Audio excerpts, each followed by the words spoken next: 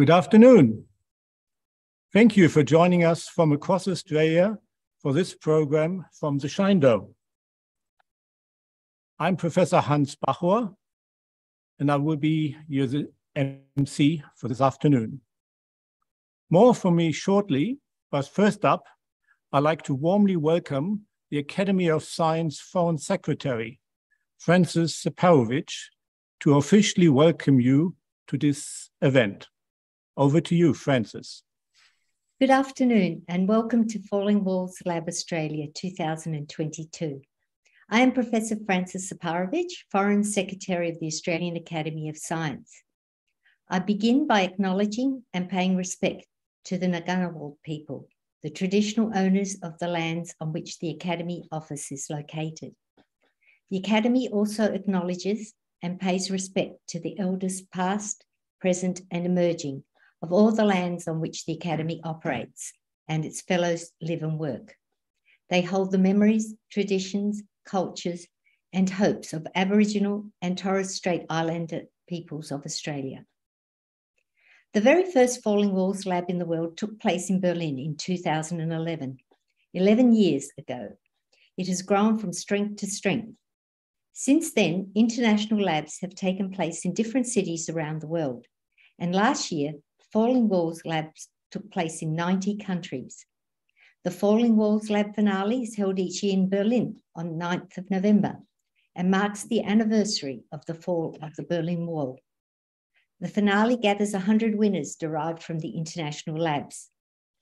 This year, the 100 winners of the international labs will unite to find solutions to the greatest challenges of our time, contributing towards a better world. The top 10 global finalists will compete in the virtual live event, the Falling Walls Pitches, from which one presenter will be awarded winner in the Emerging Talents category.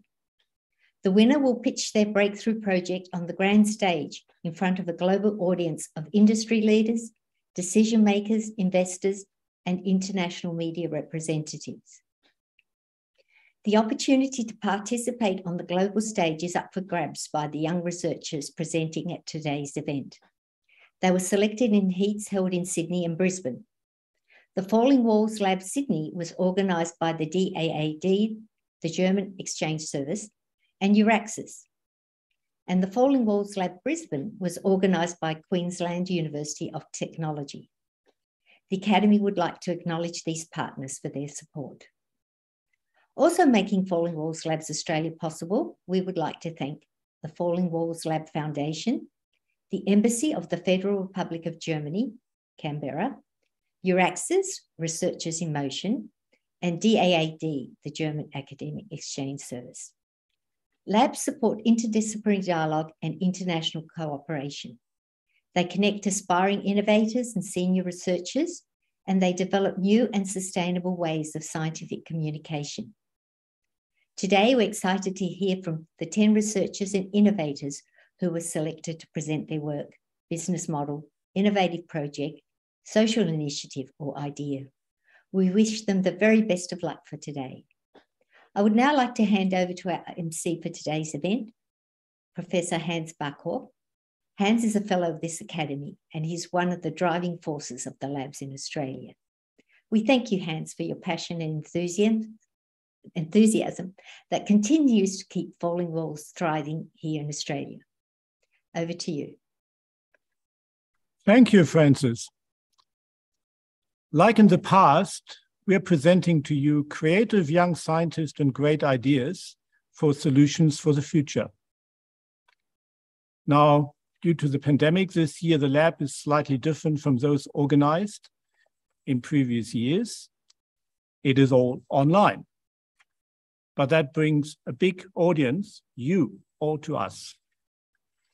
It is exciting to be here as your MC for Falling Walls Lab 2022 the 10 researchers who have been selected in the earlier round are ready to share their impressive and groundbreaking work.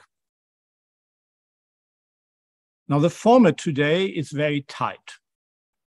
Each presenter has just three minutes to make their case, to explain the wall that they wish to break down, and how they wish to do that. This is a competition within Australia.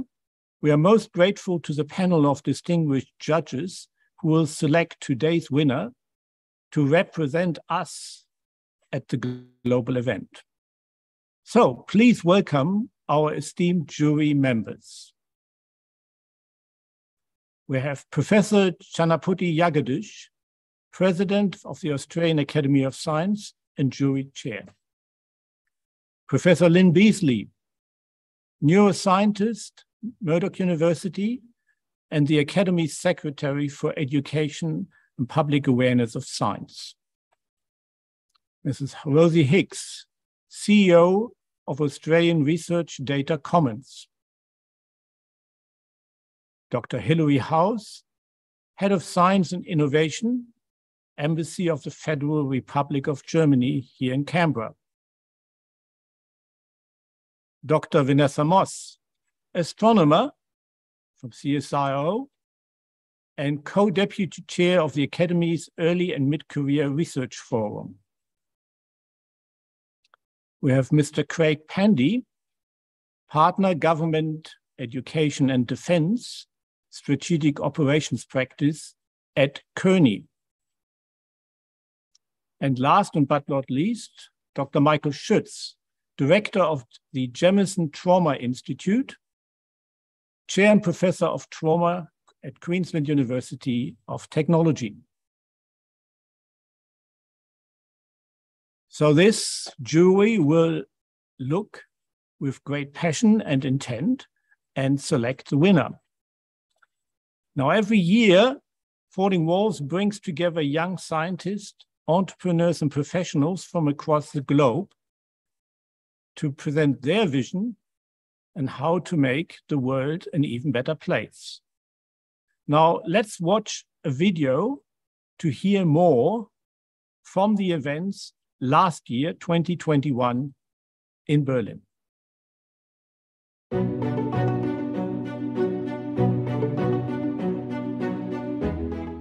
I think an event of this kind is a stepping stone for the young scientists who, when they come here, uh, get some recognition for what they are doing and also are able to form networks.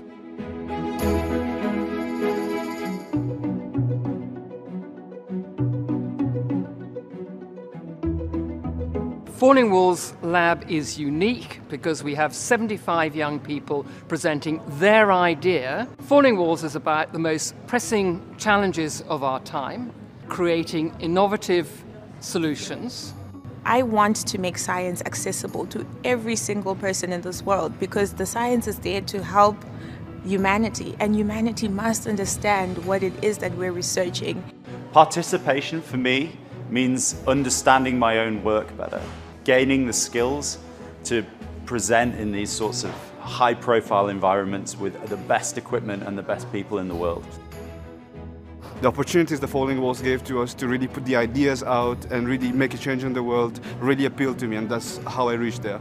To me, it's really the breadth of ideas, the breadth of across the scientific disciplines. We've faced very large challenges and Falling Walls is a place full of hope on so many levels.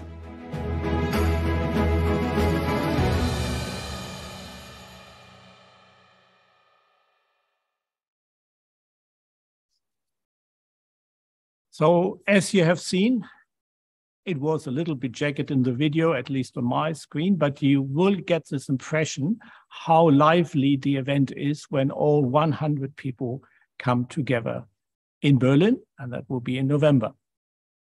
So for our event here in Australia, without further ado, I would now like to introduce the presenters.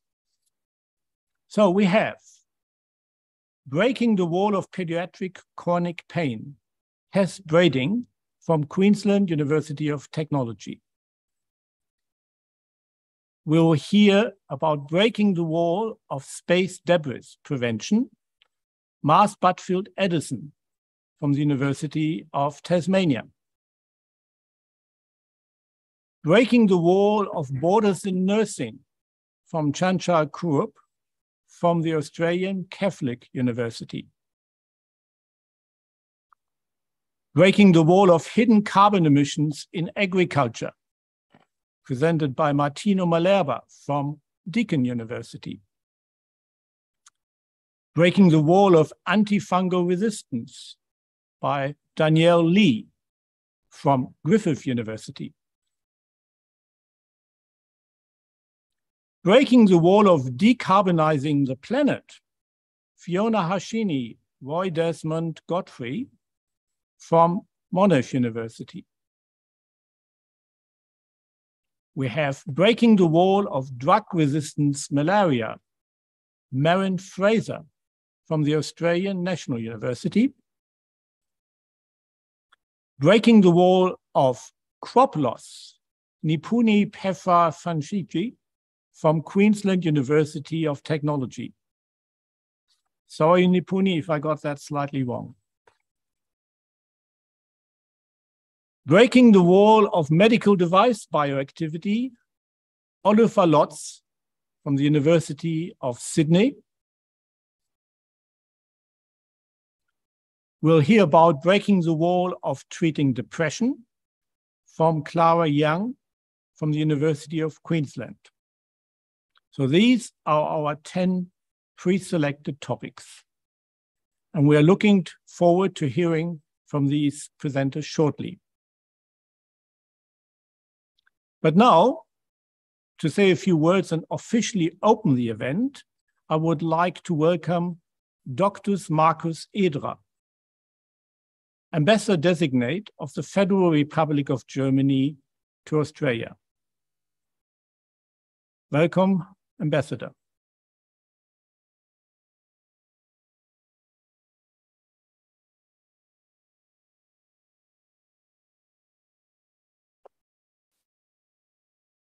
Good day.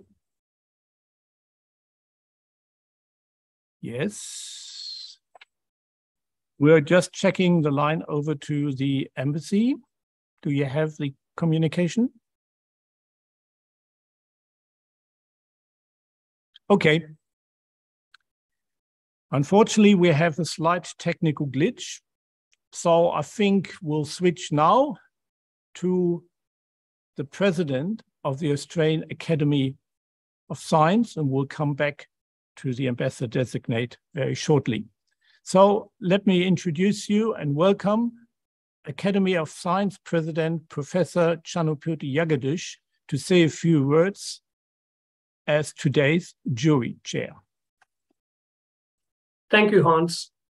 It's a pleasure to join you, our distinguished guests and sponsors, today's presenters, and my esteemed fellow jury members as jury chair for today's competition. Supporting young researchers to develop their careers, promoting international scientific engagement, and building public awareness and understanding of science are three important activities of the Academy, and Falling Walls Lab is a perfect example of this. Good luck to all the presenters the jury will have a tough job selecting just three winners to attend Falling Walls Lab Berlin in November this year. Thank you, Hans, and back to you. Thank you, Professor Jagadish. And I see we have the line back to the German embassy. So please let me welcome again the ambassador designate, Dr. Markus Ederer, to the Federal Republic of Germany. Thank you for joining us, Ambassador Designate. Good afternoon, and thank you very much, Professor Bachor. I would also like to recognize in particular Professor Jagadish and Professor Separovic, and the distinguished jury members, and uh, certainly not least, the Falling Wall presenters and all the guests out there. Um, I'm obviously not a promising young scientist, as you can see, but um, I'm the new German ambassador to this country, and um, I certainly, after having been here for a few days, didn't want to miss this Falling Walls Australia event. Since uh, 2016, um, the Falling Walls Lab Australia has become a flagship event, as you know, uh, organized by the Academy of Sciences and the German Embassy. And this is why I would like to thank the Academy for organizing this event and the eminent members of the jury for giving their time to support Australia's brightest young researchers and innovators. But mostly I would like to thank you, the presenters. Um, it's, a, it's, a, it's a kind of a moment uh, of truth for you, and I don't envy the jury either, having looked at your projects. Um, I really think you're addressing some of the major challenges of our times after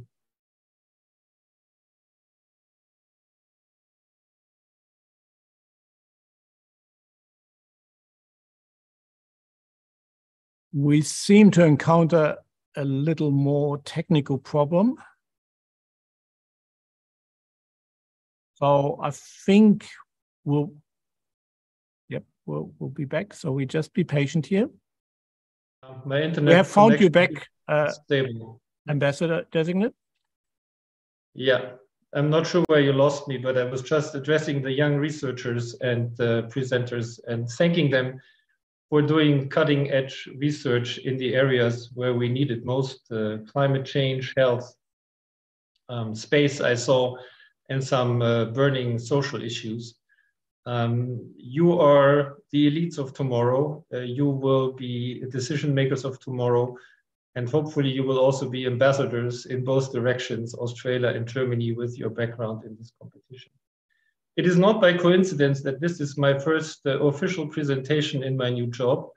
Uh, and it was not a coincidence that my last official presentation in my previous job as the EU ambassador to the Russian Federation was to 66 young Russian researchers who won an Erasmus Mundus scholarship for dual masters.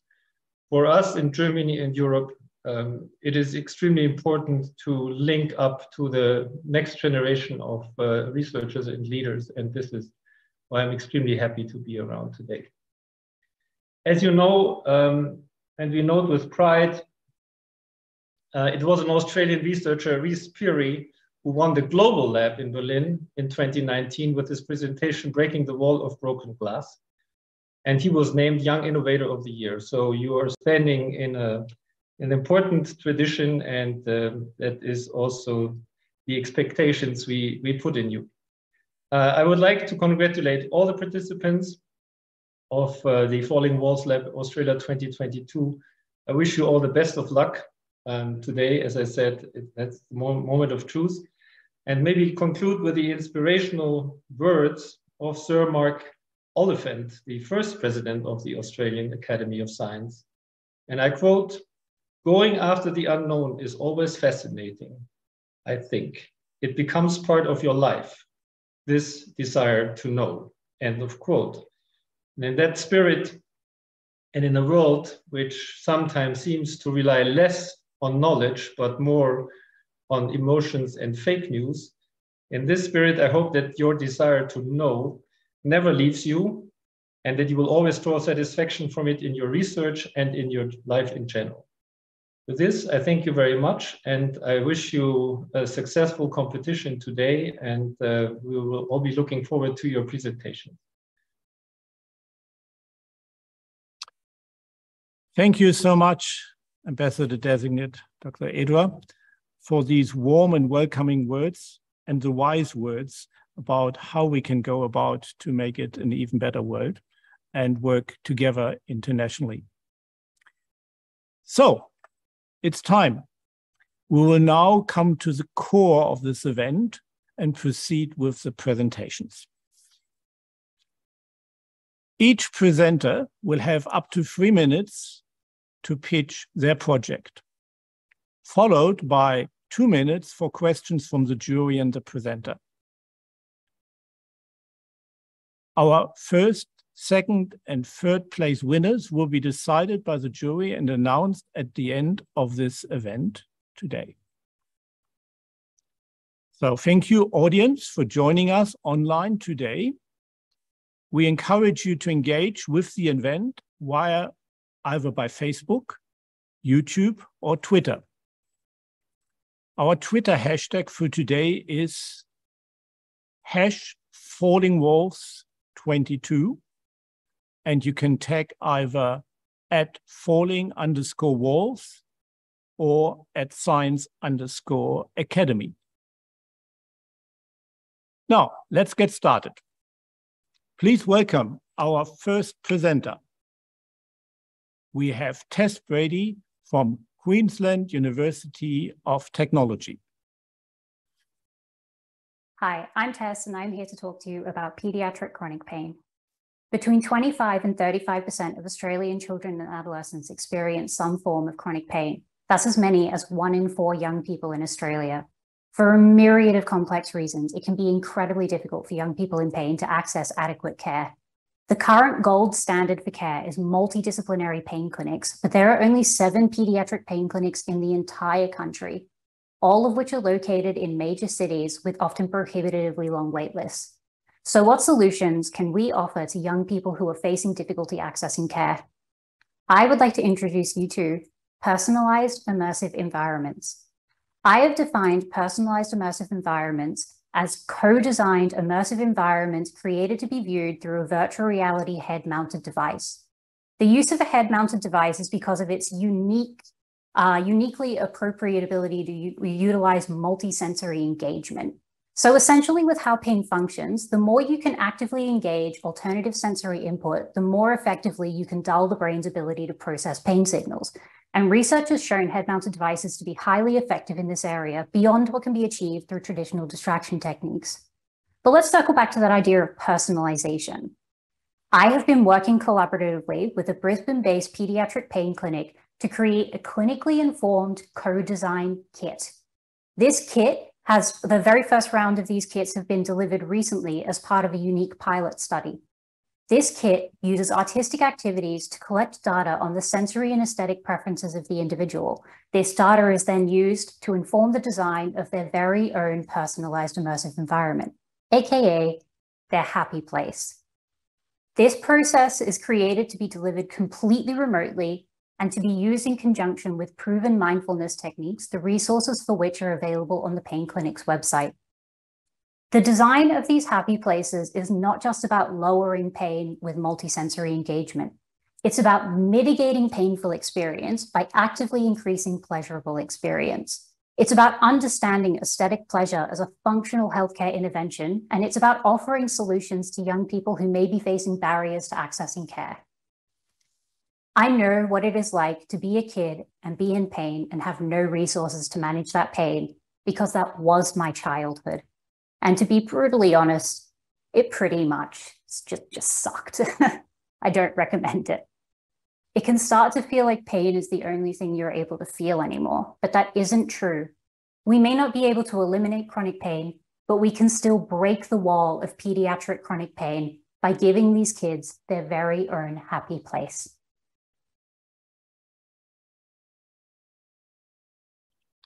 Thank you, Tess. Thank you. We now have just two minutes for questions.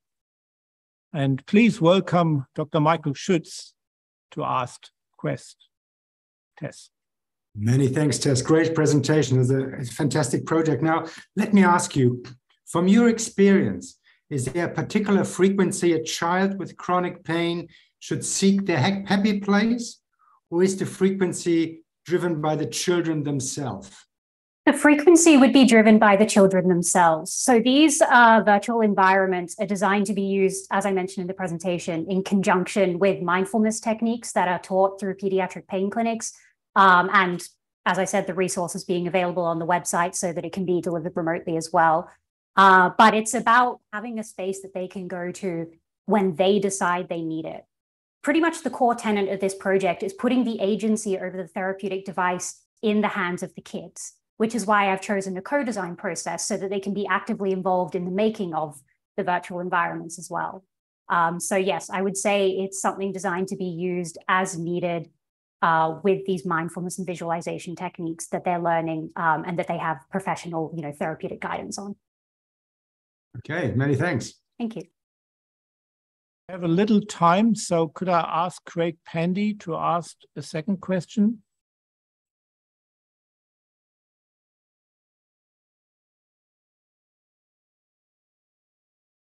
I'm sorry, I can't hear.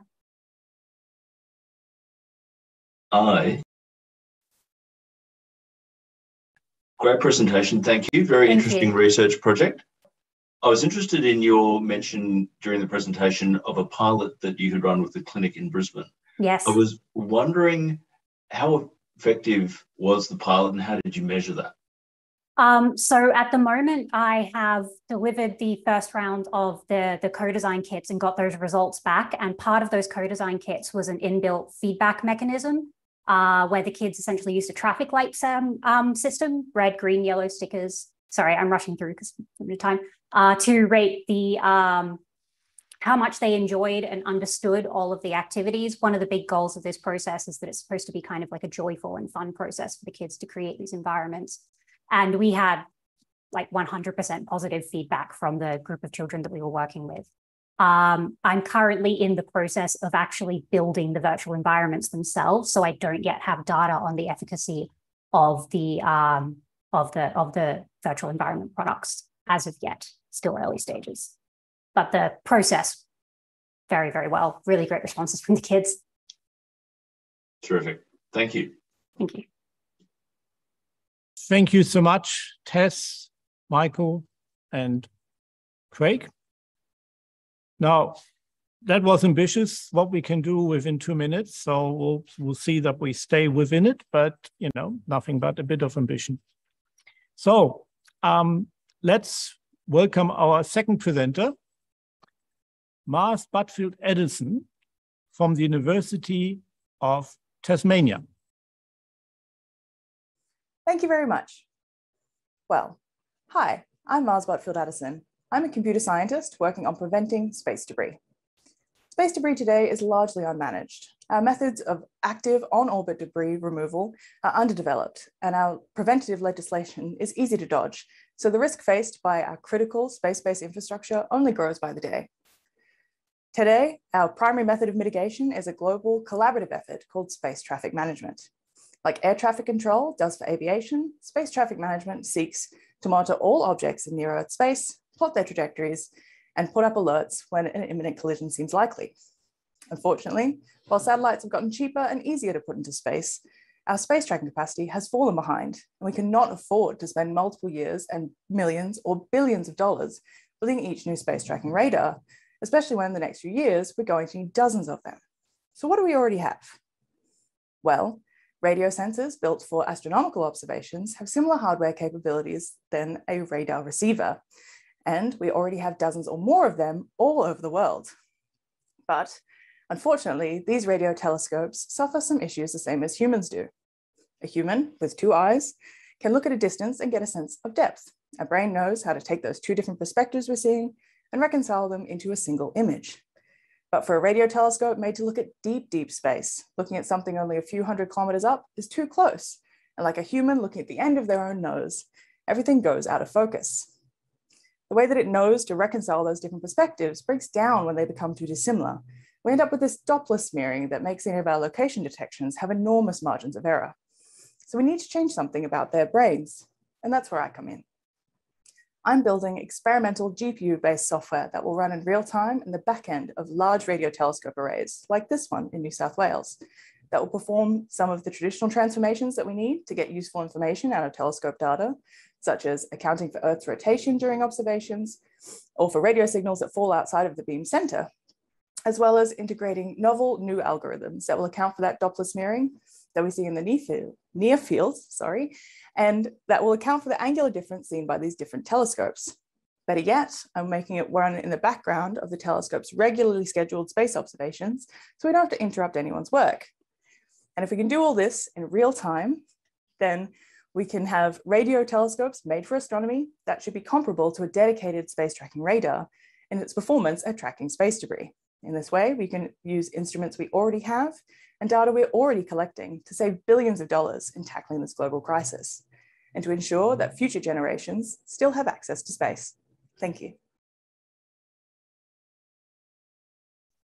Thank you, Mars.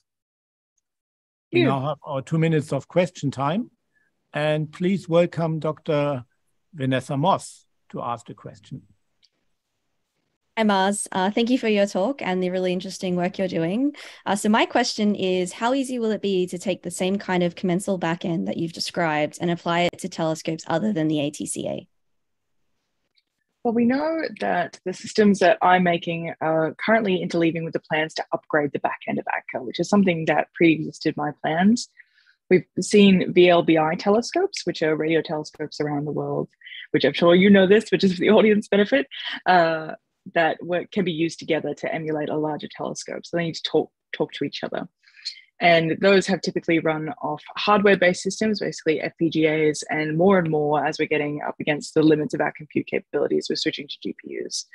And so that that's the modern supercomputer right there. It's just banks of GPUs that we've strapped together. And basically, almost every observatory you speak to nowadays is being either newly built or being upgraded at any point is going to want to move to those consumer GPUs in banks.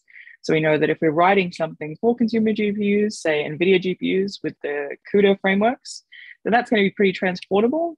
There's always some hardware specific configurations, but this is more of a proof of concept for the approach. And they're always very capable people that work at all these different telescopes who work to adapt any kind of tool that they need to integrate there.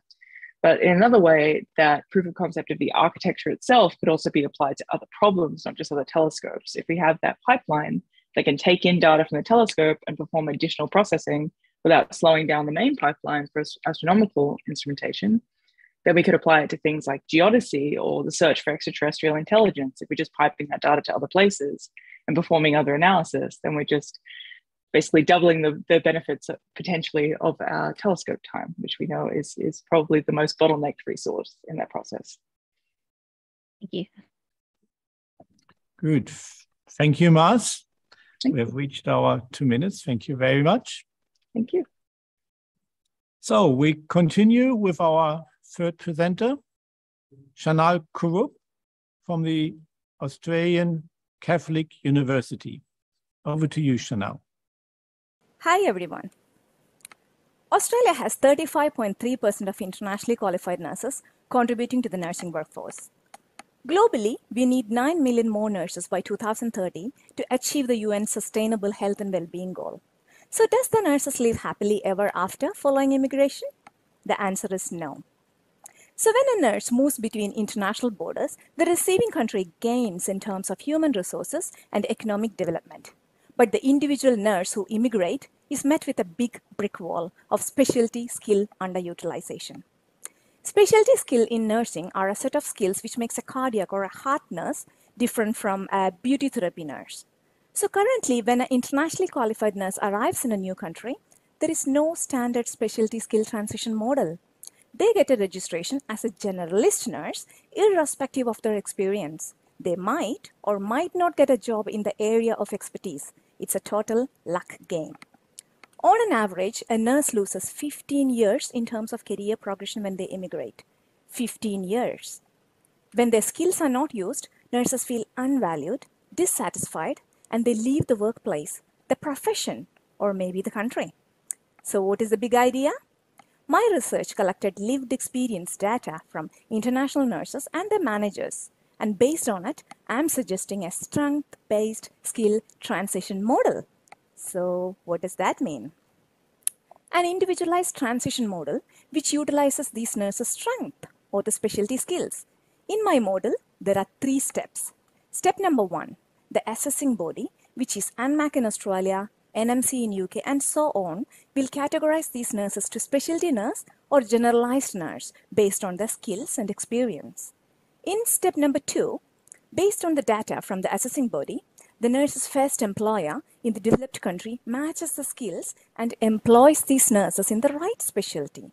In step number three, if required, the first employer, in conjunction, in conjunction with an education institution or university, offers a strength-based gap training to support the specialty skill transition. And if we use this model, what could be the result? A happy nurse who knows what they're doing, which will in turn reverse attrition among internationally qualified nurses. So if money excites you, this model saves billions of dollars spent on recruitment. Thanks for listening. Thank you, Chanchal. Thanks, Hans. Now, over for our questions. Please welcome Professor Lynn Beazley to ask Chanchal a question. Lynn. Thank you, Chanchal. I really enjoyed that presentation. I think you're addressing a very important issue. My question is, is this a broader problem? Do you think you could apply the same techniques for something such as engineering, where we're certainly wanting to get more engineers and certainly more women into the profession? Correct. It is actually a very broader problem. Uh, what I looked at is just nursing, but when I was trying to gather data, I was getting from everywhere, like engineers, uh, doctors, um, all other different professionals who were coming to Australia or any other country, and they are normally met with a brick wall. But I don't know much about their details, their assessment body, all those kind of things. But once I start in nursing, maybe I'll be able to inform them, I believe. Yes. I think you've got a, you've hit on something really important there. Thank you. May I ask Dr. Michael Schütz to ask a brief second question? Great, Chanel, excellent. As a health professional, this topic is very close to my heart for many good reasons. Why you suggested model strengthen the integration of skilled nurses in healthcare system. Does it also contribute to the global shortage of nurses? Sorry, um, um, so uh, using it, does that contribute to the global shortage or? Does it also contribute to reduce the shortage of yes, yes, globally? yes. Yes, yes. The reason is um, if um, so the specialty skill utilization uh, barrier, what I have uh, noticed is some nurses come to Australia and they are not working as nurses at all. They're working as something else. It's not my uh, the focus of my project, but still that's also happening here because of the difficulties in translating their skill here.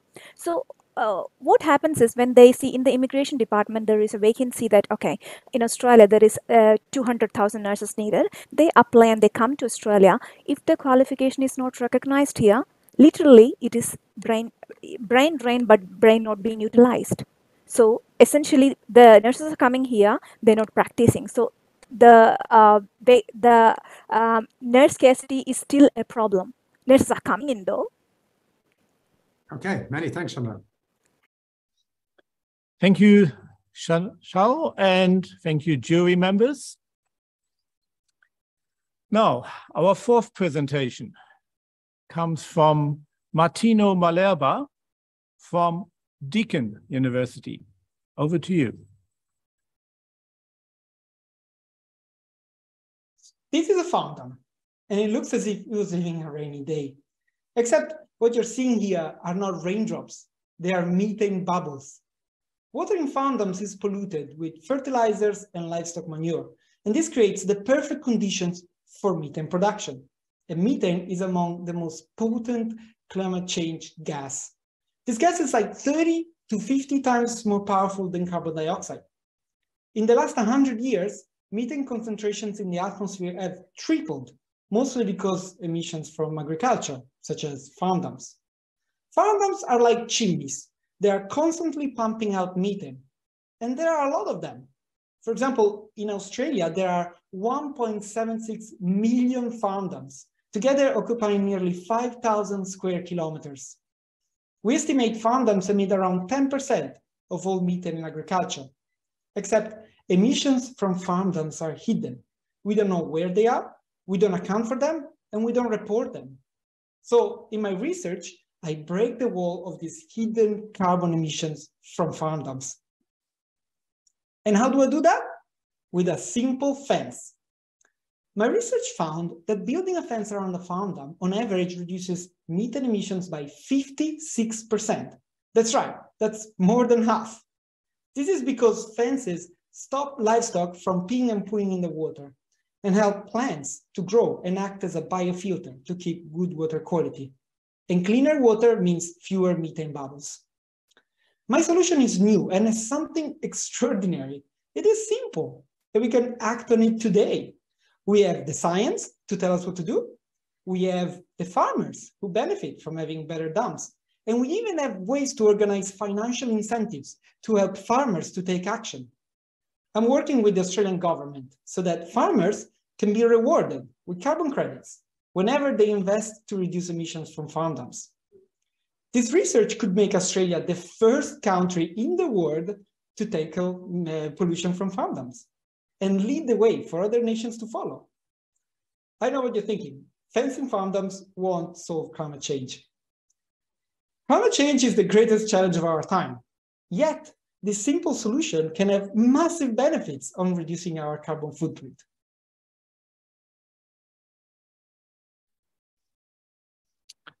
Thank you, Martino. Now to our questions, and I'd like to welcome Craig Pandy to start with questions. Craig. Thank you, Martino. Fascinating, fascinating research into agriculture, which is certainly an important industry here in Australia. I'm curious, if methane emissions from dams is not recorded, tracked, and accounted for, as you as you tell us in your presentation, how do you calculate that it represents 10% of agricultural emissions?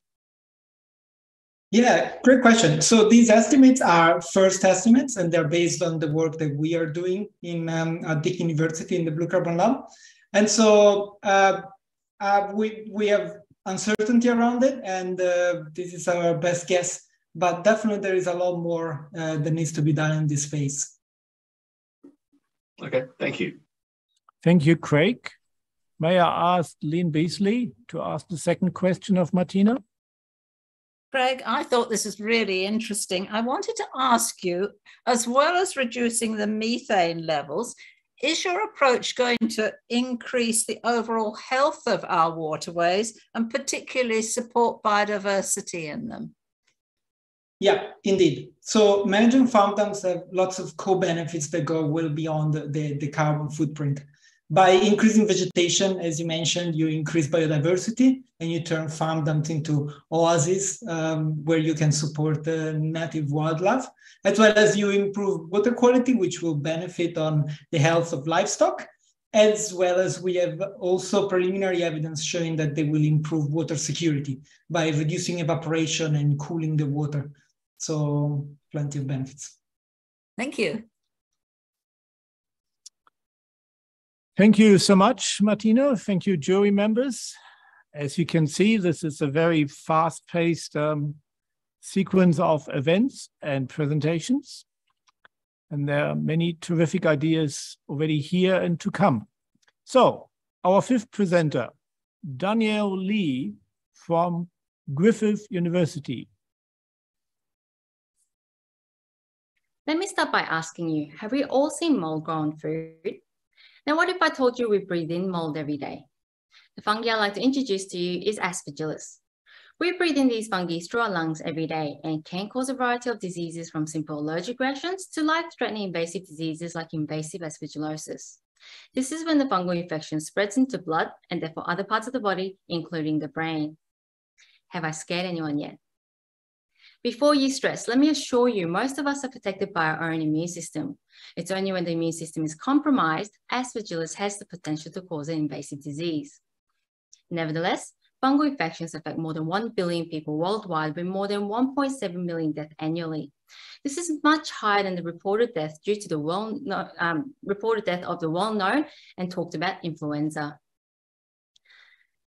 It has also costed the Australian economy more than half a billion dollars in hospitalisation alone, or up to $81,000 per case of invasive fungal infections. To make matters worse, not only does this affect humans, but it is a growing issue in farming and in poultry, where the only option is to cull the entire flock. However, as deadly as fungal infections are, it is a neglected area of research. Currently, there's only a limited number of antifungals available with resistance highly reported. But We've not seen a new antifungal on the market for over a decade. So this is where my PhD project comes in. My project looks to discover and develop a new antifungal to combat this issue. To do this, I target a vital component of the fungal cell, galactomannan, or the sword that helps keep fungi alive and infect. Think of this sword as the fungi's attack and defense mechanism. Without galactomannan, the fungal cell is malformed and therefore they're unable to attack, defend, and they die, like this fella here with the broken sword.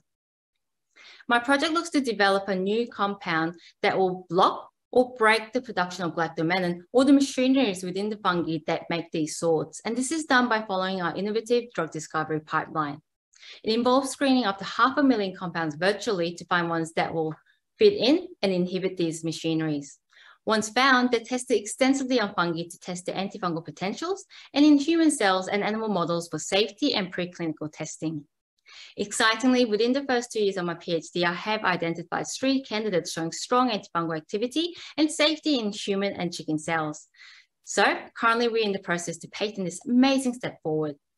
Three novel antifungals to finally provide a solution, a bulldozer to break down the walls of antifungal resistance and to break down the walls of patient suffering to give them or you the quality of life one truly deserves.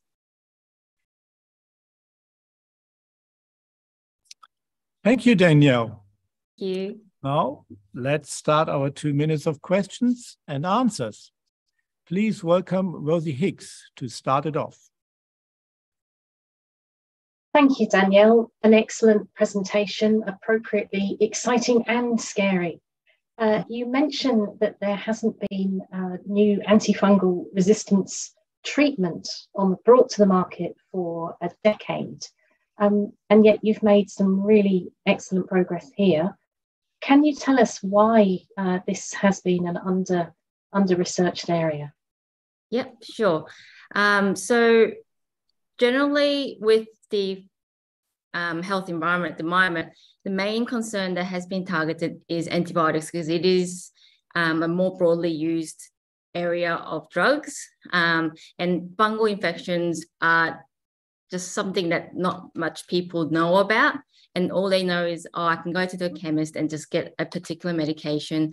And it's it's just an uh, area that no one has actually thought because it's not as as um, mainly talked about in the media or in the health field. No one's actually looked at it. Um, if you look at the CDC from America, they don't actually look at this particular target as much as they do with the other health concerns in the world.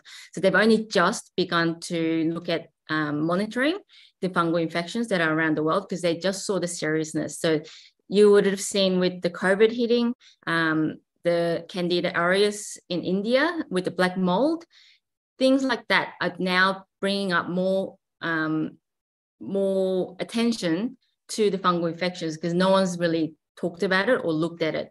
Um, yeah, so unfortunately, it is a target that hasn't been looked at, but hopefully it will get the same look as people talking about antibiotic resistance, and now they'll, they'll talk about antifungal resistance. Thank you. Thank you, Danielle. Thank you, Danielle, for such a complete and uh, you know complete answer for a deep question.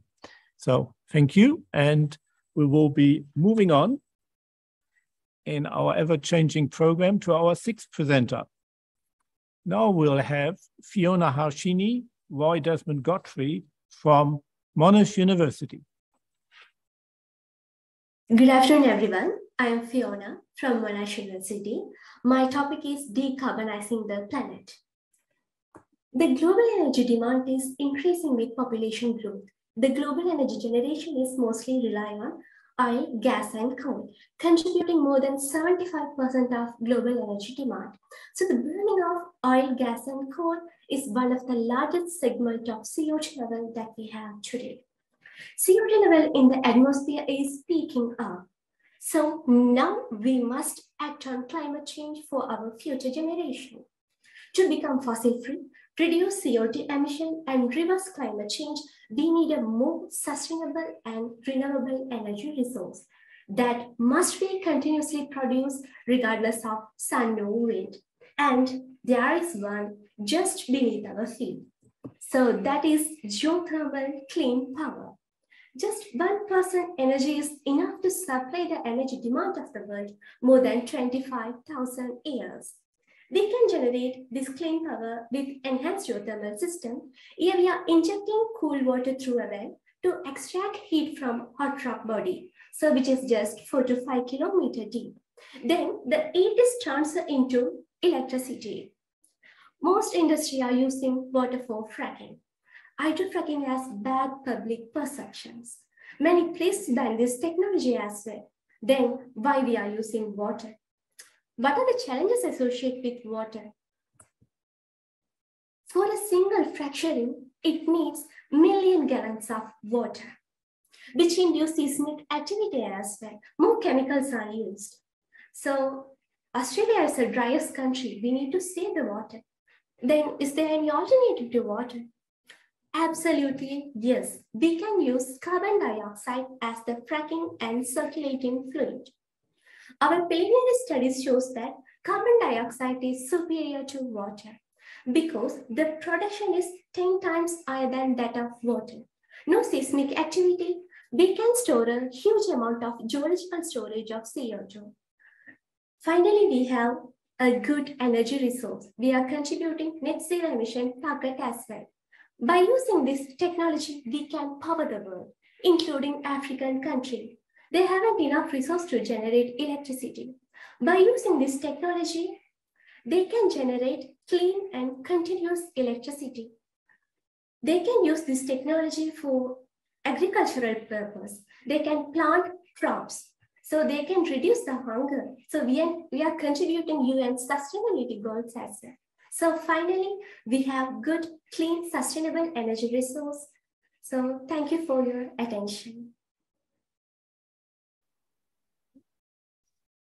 Thank you, Fiona.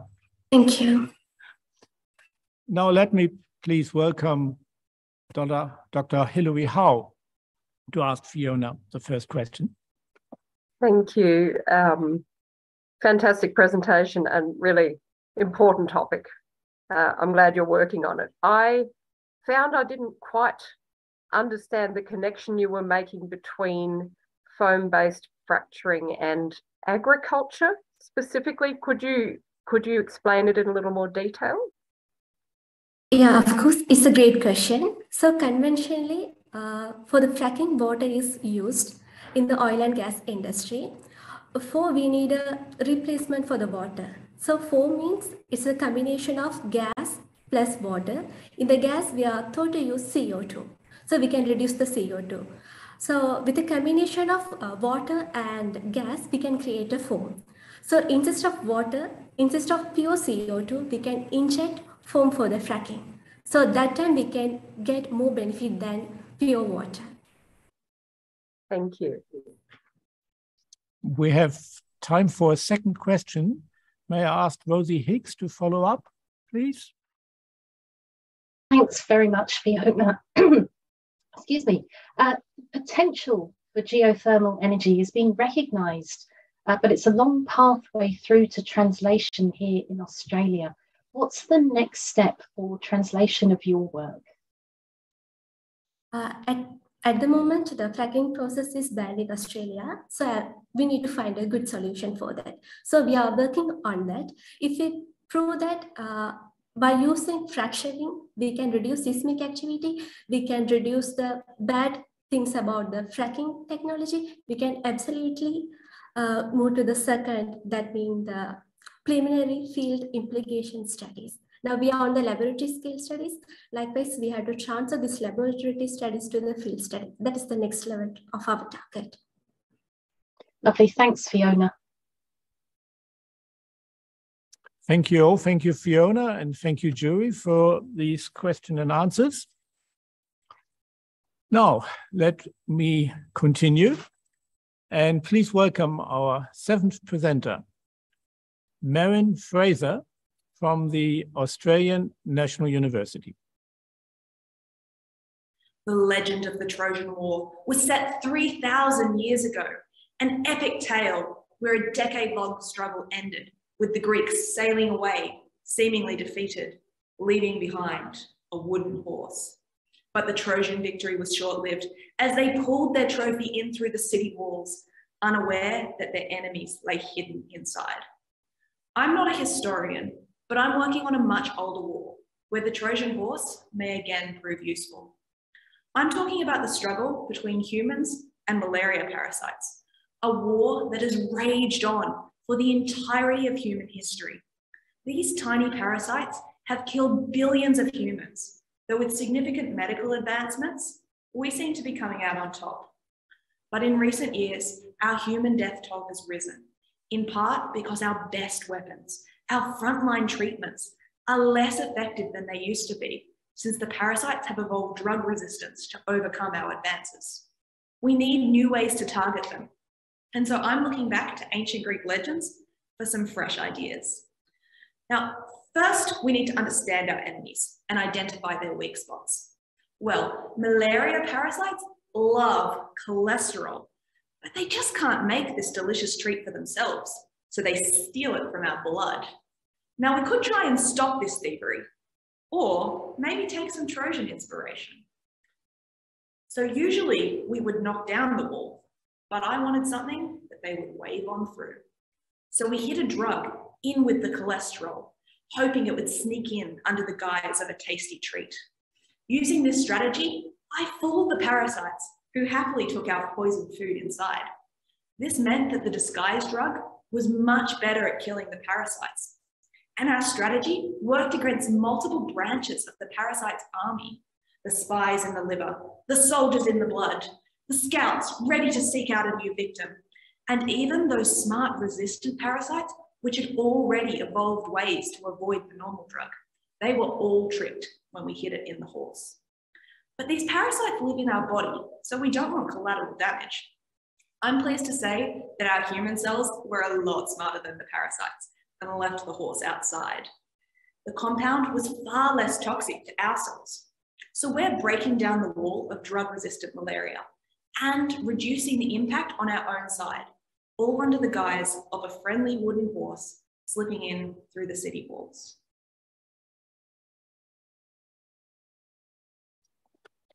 Thank you, Marin. Thank you. Now let's uh, switch over to the question and answers, and I would like to ask Michael Schütz to start it off. Marin, great performance. I love it. Now, while this concept seems great, how far has your research proven that this Trojan concept is successful? So at the moment, we're only working sort of in the lab environment. So we're testing it against lots of different life cycle stages of the parasites because malaria parasites are really complicated. They've got as I said, stages that live in the liver, in the blood, different stages that are used for transmission. And so we're testing this compound against all of these different stages because we think that the thing that unites these very different uh, aspects of the life cycle is that they all rely on cholesterol. So because there's so many different aspects, we've mostly been um, just focusing on kind of what are the potential applications. But we have also tested it against some totally different parasites that cause different diseases. And we do have some promising results there as well. So we're not yet at the stage where we're looking at moving it into an actual body, but we're doing the preliminary work, such as testing whether the compounds remain stable when they're in solutions that are like blood, so that we can make sure that by the time we actually get to putting it into a real body, um, that we know that we're not going to run into problems with uh, compound stability and that kind of thing. Okay, great. Thanks. Thank you. May I ask Lynn, Lynn Beazley, to follow up with a quick question and a quick answer. Yes, Marin, thank you so much. My quick question is, and I think you partially addressed it, can we apply this to other examples of drug resistance? Absolutely. I mean, well, our research so far has only focused on kind of a narrow set of parasites, but most parasites, and particularly ones that are closely related to the malaria parasite, do rely on cholesterol. So we think that it could be applicable to a huge range of potential diseases of both humans and animals. So there's medical uh, importance there as well as agricultural importance. Thank you. Thank you, Marin, Lynn, and Michael. Thank you for the dialogue. So let's please welcome our eighth presenter, Nipuni Peffafa Sandridge. Over to you, Nipuni.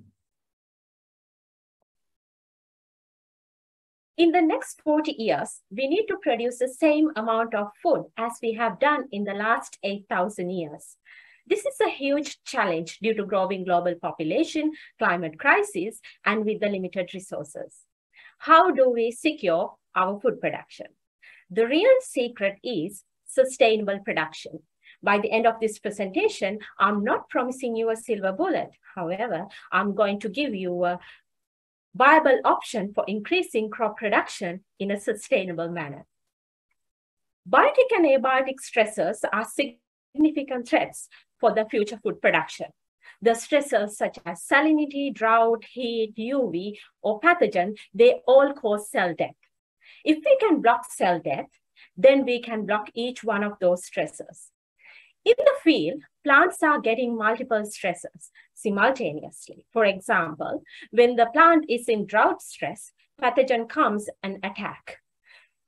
Also, if we can develop crops with increased nitrogen and water use efficiencies, it will give us a lot of benefits, including improved stress tolerance levels, which will then lead to the future food security. But how can we do this? When cells are under stress, proteins do not fold properly and they become dysfunctional. It will then lead to the accumulation of unfolded proteins in the cells, which creates a toxic environment um, and one way cells get rid of this toxic compound is autophagy. Starvation diet is an example for this. Starvation diets have shown promising anti-aging properties because it removes toxic compounds from your cells. By the time you have your next meal, your cells have been cleansed of those toxic compounds because cells need fuel. So to restore that fuel, Cells specifically target these unwanted compounds and degrade them to release the energy. So how can we translate that sort of technology to improve crops? We have done this using a single gene, which will produce a folding protein called BAG4.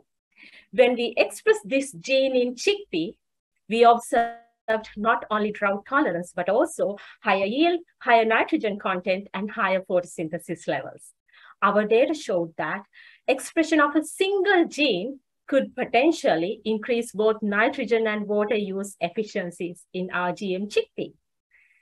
Biotechnologists always come up with a new gene and say it can produce a higher yield in a certain crop. But what is actually going doing it in the field? We have shown this in the field. Our field data showed that we got some promising results from our field trials. So having this knowledge as a foundation, can we develop non-GM gene edited stress tolerant crops to feed the world? Thank you.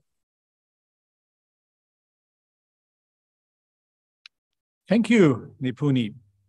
Thank you. Now, let's progress to the question and answers. And please welcome back Mrs. Rosie Hicks to start it off. Thanks, Nipuni. That is such uh, an important area of research for us. The numbers are sobering. Um, there has been a lot of social license issues associated with GM crops.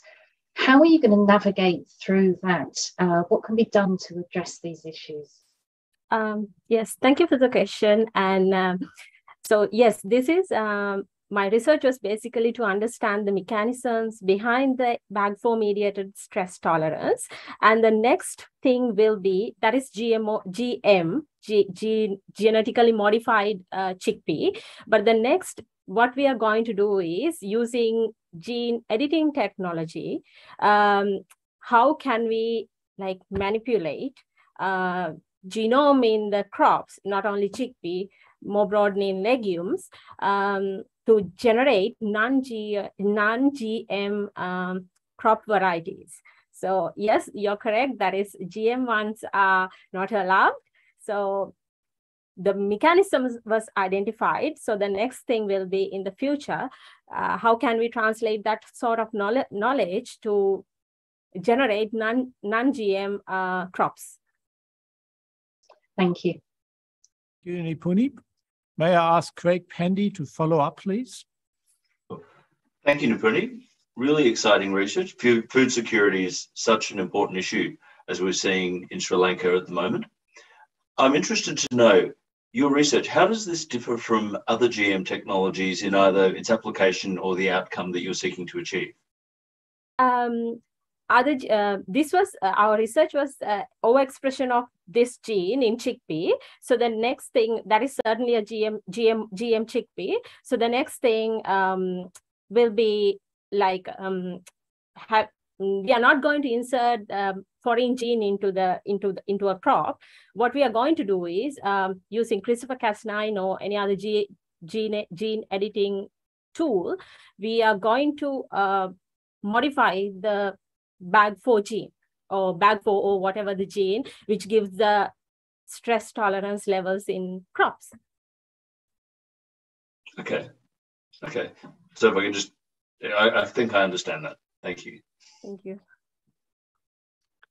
Okay. Thank you, Craig. Thank you, Rosie. And most of all, thank you, Nipuni, for the dialogue.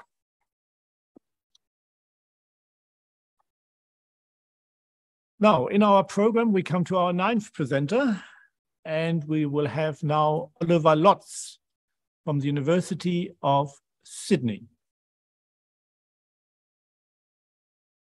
Imagine that in one hand, I have a beating human heart. Any volunteers? While in the other, I have an artificial replica made of mostly plastic. If I were to ask you which is more likely to work inside a patient, then all of you would probably vote for the real heart. The question is why? This is an important question because the waiting list for organ transplants can take years if you survive that long, and the number of organ replacements needed is likely to increase dramatically in the near future, thanks to an aging population. This is really a question of bioactivity, can we communicate with cells in the ways that they understand? Medical devices are good and getting better at uh, showing relevant architecture, stiffness, and roughness, physical cues, but we're still missing the biomolecules. Cells see a world not just full of biomolecules, but made of them. They help cells live, grow, and transform. If we could control bioactivity, then it's game on for a range of new healthcare treatments. For example, stem cell uh, treatments uh, need incubators that help cells, sorry, that make cells want to grow. Organ models need to be real, need to be realistic to be relevant for drug testing. And medical devices need a guarantee that they won't get rejected. Current methods to introduce bioactivity typically use chemicals. These methods risk toxicity for patients, are slow, and can't even pattern. When they don't use chemicals, typically the bonds aren't strong enough to keep the biomolecules where they need to be. My research is about developing a tool that will help us get the best of all worlds. Quick, targeted surface treatments for bioactivity. I use plasma in open air, not blood plasma, physics plasma, the fourth state of matter. This tool is like a torch or a pen and can be an extra head in a bioprinter. Uh, no other lab is using this approach yet. I've attached a range of biomolecules and investigated the mechanisms for how this works and the scaffolds that I've treated with my plasma pen help cells grow more easily. This is an important step to creating realistic tissue. So if that were an organ, the patient's body would be a lot happier to have it. Uh, my collaborators and I are showing that this works uh, on, uh, sorry, for real applications. For example, cartilage for knee replacements. Knees are not very good at repairing themselves, so a bioprinting solution would be a big boost in quality of life for a whole range of people. Our results to date show we can grow cartilage better than the current gold standard. Next up, it's time to get this technology to market with the world-class bioprinting company that I'm working with. To summarize, I'm developing this plasma pen tool for bioprinters so that when you get sick and your body needs one of these two, can't tell the difference. Thank you.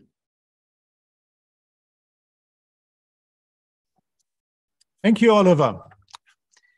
And let's start the Q&A and please let me welcome back Dr. Hilary Howe to start it off. Thank you, Oliver. I can certainly see a lot of applications for the uh, technology that you're developing. Um, I guess I'm curious to know you came up with the idea of using plasma rather than chemicals to introduce bioactivity. It seems like a very different approach, and I uh, wonder what, what led you to think that it might work. So, uh, firstly, thank you. Um, so the, the group that I'm working with has been uh, using plasma with low pressure for uh, a number of years in order to treat and modify surfaces, uh, sometimes for medical applications, sometimes for a variety of others. So um, uh, the step that my work took was to do this at atmospheric pressure so that it'd be relevant for bioprinters. Um, so in that sense, uh, it, uh, it made sense for, for people that were already using plasma to apply it to this kind of um, technique. And it turns out that it's, it's working quite well. Um, yeah, it wasn't first from the biomedical side.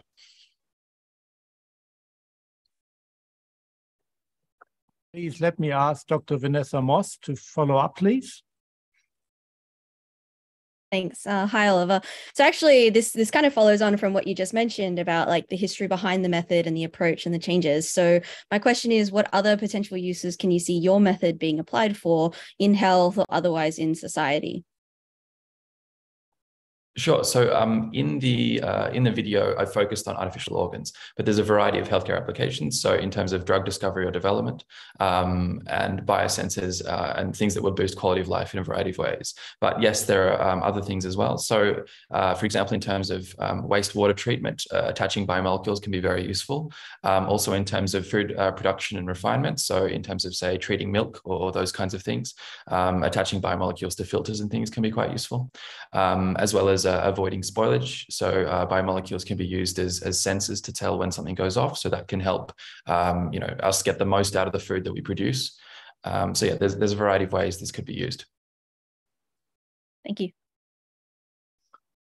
Thank you, Oliver, for the nice dialogue and the complete answers. So we'll now continue our program with the last but not least presentation. And now we have Clara Young from the University of Queensland. Over to you. Depression affects over 200 million people globally, and new pharmacological treatments are much needed. However, on average, it costs over $1 billion and takes 10 years to make a new drug from scratch and to get it approved for market use. Even then, 90% of the drugs fail during clinical trials due to safety or efficacy related reasons. And this creates a major barrier to developing the new treatments that depression patients desperately need. Here, we propose a potential solution to breaking down this barrier, where instead of making new drugs, we thought, why not repurpose some of the drugs that we already have to save time and money? And the approach we take to explore the repurposing potential of our existing drugs is very similar to fingerprint matching.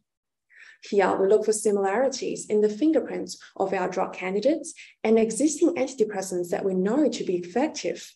And in this case, their fingerprints are the gene expression changes that these drugs induce in human cells. Just like how the fingerprint of a person can indicate their identity, the gene expression signature of a drug can also provide insights into their pharmacological effects on a molecular level. Let me illustrate with an example. Our search so far has identified statins to be a candidate that can be potentially repurposed for treating depression. Statins are medications that lower cholesterol levels and are widely used for treating cardiovascular diseases so we know that they are safe. Using the drug fingerprint matching analysis, we find that statins and antidepressants show highly similar gene expression fingerprints, indicating potentially similar pharmacological effects. We then look more closely at the genes linked to, to this similarity and find that many of them play a role in immune processes. From this, we speculate that statins can potentially exhibit antidepressive effects by influencing our immune system, which has been shown to go haywire in depression. Our analysis thus provides justification for future clinical trials looking at statins as a potential treatment for depression. Using this drug fingerprint matching approach, we can potentially find more existing drugs that we know to be safe and explore their new therapeutic values in treating depression. Our approach can also help prioritize gene candidate, uh, drug candidates that are worth pursuing in downstream clinical trials. This way, we can potentially get new treatments to patients in a fraction of the time that is required by conventional drug discovery approaches. Thank you. Thank you, Clara. Thank you. Now let's have our customary two minutes question and answer. And I would like to welcome back Lynn Beazley to start it off. Laura, thank you for that excellent presentation. Repurposing drugs, I think it's a terrific idea. Now, you've chosen statin, and we know a lot of people are taking statins long term for a completely different reason. So, is there any evidence that these people have lower rates of depression? That's an excellent question. So we have evidence from observational studies uh, showing that um, users of statins had a lower rate of depression, but of, of course, um, observational studies often report conflicting evidence. So we have also looked at evidence from randomized control trials, which are considered the gold standards, and some of them do report a beneficial effect of statins when used as a um, additional treatment to current antidepressants. So um, yeah, as you said, many people are taking statins for various reasons, mostly for preventing and treating cardiovascular diseases. So it's understanding the effect of statins on depression is not only potentially beneficial for drug repurposing, but it's also very important because we certainly don't want medications that are meant to, you know, treat one disease to worsen, potentially worsen another kind of disease. Thank you. Wonderful. Two for the price of one. Thank you. Thank you. Let me ask Dr. Michael Schütz to follow up with a second question, please. Michael? Thanks, Clara. I think the initial reason to start your project is applies to other areas as well. And for that reason, the question is, would this approach to steer the antidepressant drug development only limited to this medical condition? Or is there also a scope to broaden the application for this approach to other drug developments? That's an excellent question. So the resource that we are using at the moment is called the Connectivity Map database, which has hundreds of thousands of drug-induced fingerprints. And that will allow us to look at a diverse range of drugs, as well as their effect on a diverse range of diseases. So we can not only apply this fingerprint matching analysis to, you know, the similarity between drugs, we can also use uh, directly use the fingerprints of diseases. So that would be the genes that are, you know, upregulated or downregulated in a disease, and we can directly pipe that through our um, drug fingerprint analysis and identify drugs that could counteract the effect of the drug, uh, sorry, the disease fingerprints. Thank you. Excellent. Oh, thank you, Clara. Thank you, Lynn and Michael. Now, I find this is a wonderful set of ideas. I have no idea which one is the best, but that's what we have a jury for. But before we go there, maybe we can't hear your audience, but I hope you're still all out there. So let's have a round of applause for all 10 of them, even if it just goes into nowhere. Fantastic work.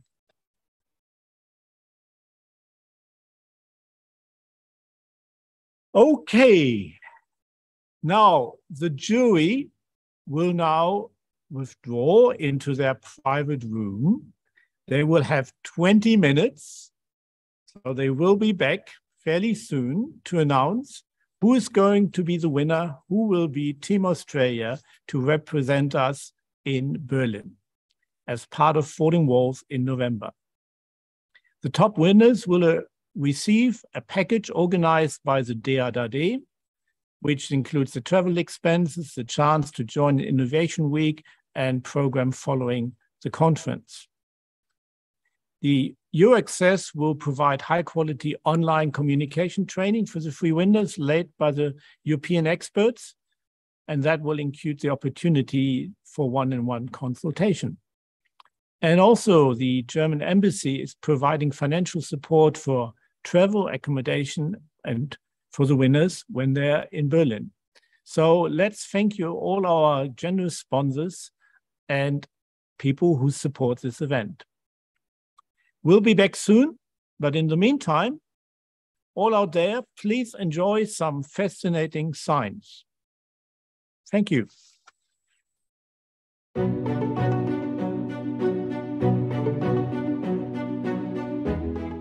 I think an event of this kind is a stepping stone for the young scientists who, when they come here, uh, get some recognition for what they are doing and also are able to form networks.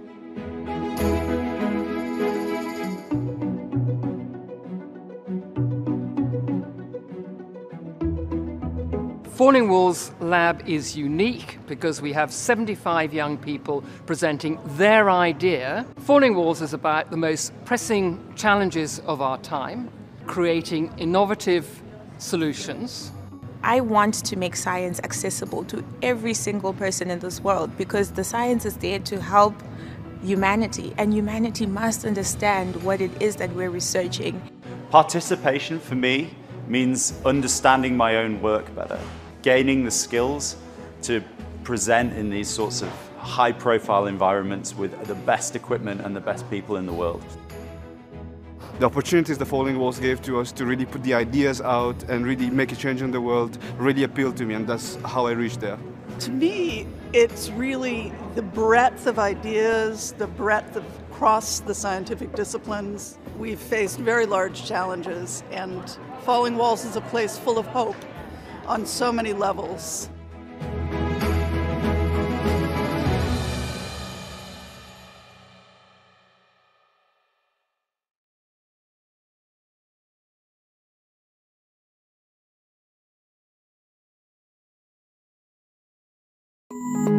Climate change is one of our biggest challenges, but science exists to overcome challenges. So here are some of the year's top innovations in the battle against global warming. There is some amazing work taking place right around the world, but let's begin in Madagascar. Malagasy forest is under serious threat due to the fast growing deforestation, mainly caused by bushfire and charcoal production. Dr. Pascal Safid has designed a machine that creates biobriquettes, a biofuel substitute made from grass that can replace charcoal and coal. The idea is to take the grass and press them by using a press machine to get biobriquettes. Indeed, grass is renewable and regenerates faster than trees. The grass powder will be compacted by applying a high pressure with a press machine. Then we get the biobriquettes. These little grass pellets can be used to boil water and create steam energy, propel turbines for electricity, and even heat homes. Now, we already know we need to reduce our reliance on fossil fuels, but what about the carbon dioxide that we've already released into the atmosphere? It's going to be up there floating around for hundreds of years. In other words, how do we regain control of our planet's thermostat? One answer to that can be found in our oceans. Australia's Professor Peter Macreadie is zoning in on how they draw down carbon. In particular, seagrass meadows, tidal marshes, and mangrove forests, and also seaweeds, they only occupy about 1% of the seafloor, yet they sequester more than half the ocean's carbon. And they lock that carbon down for thousands of years. So, Peter Macreadie says the evidence is clear. The world should now be protecting so called blue carbon sites. To Germany now, where Professor Frank Dimroth is trying to get more value from the sun. Now, what we believe is that solar energy will be the primary energy technology in the future. We all know that we have to go into a conversion from fossil fuels into renewable energies for establishing a more sustainable society. Creating energy from sunlight isn't a new idea, but standard solar cells can only convert light of a limited wavelength range, while other regions of the sun spectrum are hardly used, if at all. What we are trying to do is to use several materials which match much better to the different wavelength in the solar spectrum. We call these tandem solar cells or multi-junction solar cells. And the materials which we are adding to the silicon are, for example, 3,5 compounds. An example would be gallium arsenide and very new material where a lot of people are performing research today is the so-called perovskites. Both of these material systems have shown that we can very significantly increase conversion efficiency by combining these new materials with the conventional silicon used in today's photovoltaics. And that could improve the efficiency of solar cells even further, helping the world make the jump to renewables, provided that society can ensure the current generation of lead perovskites does not introduce another kind of environmental hazard. Can you imagine a world without waste? Well, maybe not. But perhaps we can rethink how that waste is made. That was the approach taken by Andrea Ling, who recognised her own part in the problem. My response was to recognize as an architect and a designer, um, all I do is create waste or what will be waste. Um, and so, if that's the case, then I need to design waste as nature does. You heard right, she designs waste intentionally. That waste incorporates natural biological decay in its fabrication process, using enzymes and microbes that are built into the materials, allowing the biomaterials and bioplastics to self decompose under the right conditions, thereby reducing our waste output. My base material system included biocomposites of chitin, cellulose, and pectin, derived from the exoskeletons of shrimp, tree pulp waste, and fruit skins. And that's the kind of thinking the world needs right now. You can read more about these innovations and many others by heading to the website now on your screen. I suspect they'll give you as much hope as they gave me. I'm Nuala Hafner. See you next time on Global Science. Remember to hit subscribe for our regular videos. And while you're here, check out our past episodes.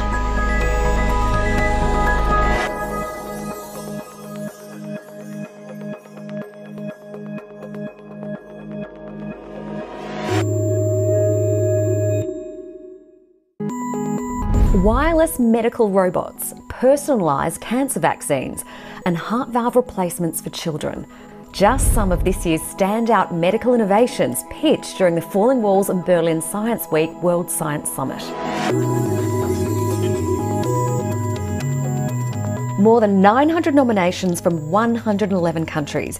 It seems the global pandemic hasn't slowed big thinking from some of our brightest minds. Across the next four weeks, I'm going to share my picks for the Falling Walls breakthroughs of the year from fields such as climate science, technology, social science, and first up, medical. Effective drug delivery to disease sites remains a major challenge in today's medicine. That's Professor Simone Schuerle, who wants to improve the way drugs target specific parts of our bodies. Her secret weapon? Magnets.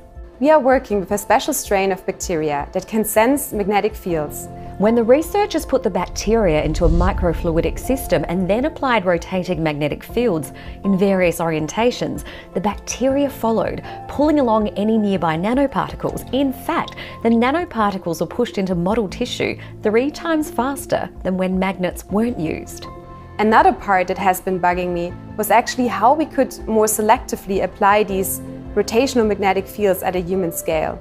And this is something I've been working on with my team recently and we came up with a design, but we haven't built it yet. And so that is something I'm eager to explore.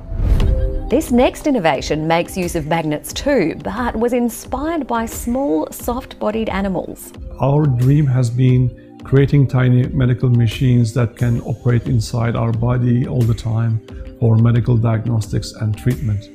Professor Metin Sitti says his little robot can do just about anything. We design and build a new soft robot that is in this mini size scale that has a very special programmed micromagnet inside and then uh, we can have all different locomotion modalities like walking rolling jumping swimming and going on the water surface type of behavior for the first time on the same robot and with such flexibility, it could be programmed for things as complex as drug delivery, fluid pumping, and, and even liquid biopsies. The robots aren't ready yet. The researchers are tackling all types of challenges, especially from our immune system, but the results are promising, so watch this space. Next up, I want you to meet Associate Professor Michelle Monje, who's changing our understanding of brain tumours. The essential finding of my research is that brain cancers like glioblastoma and diffuse intrinsic pontine glioma interact with normal brain cells called neurons, and that these interactions are fundamental to the progression and growth of these cancers. In fact, cancer cells integrate into neural circuits. That leads to electrical currents flowing through the cancers. And what we find is this electrical signaling is really central to the tumor's ability to grow and invade. Knowing that has opened up entirely new directions in developing therapeutic strategies. Let's head to Helsinki now and the medical startup dressing up viruses to fool cancer. You know, one of the biggest challenge in cancer therapy is the fact that tumor originates from our own tissue. So for our immune system, that is actually the police that guards our body, it's very difficult to spot tumor. But immune systems do recognise viruses. They activate T cells to respond to foreign substances in the body. A few years ago, we had an idea. Why don't we take the tumor, we chop the tumor in small pieces, and then we load these small pieces on the surface of a virus. So the viruses are modified to carry tumour cell fragments that the immune system can recognise, acting almost like a vaccine. Keep an eye on virus therapy for cancers, many consider it the new frontier. Finally, to a breakthrough providing new hope to babies born with heart valve defects. The essential new finding of our research is that we have established a method to produce a heart valve from living tissue from the patient, him or herself. That means there's no rejection, there's no other tissue needed, there are no other materials needed. In Europe alone, around 1,200 heart valve transplants are performed on children each year. The mechanical heart valves normally used require lifelong blood thinning treatments and are susceptible to infections. So we want to bring the solution of a baby, of a child heart valve to the market. We will produce a growing heart valve, which is implanted once and stays in for a lifetime, so that there's no resurgery needed. Brilliant, right? So they're just some of my favourite medical innovations of the year. You can learn more about them and many other amazing breakthroughs by registering for the World Science Summit, bringing together Falling Walls Remote 2020 and the Berlin Science Week. You'll find the link in the social post. And make sure you stay across Global Science TV in coming weeks for innovations in tech, climate, and social sciences. Trust me, they're worth seeing. I'm Nilla Hafner. Chat soon. Remember to hit subscribe for our regular videos. And while you're here, check out our past episodes.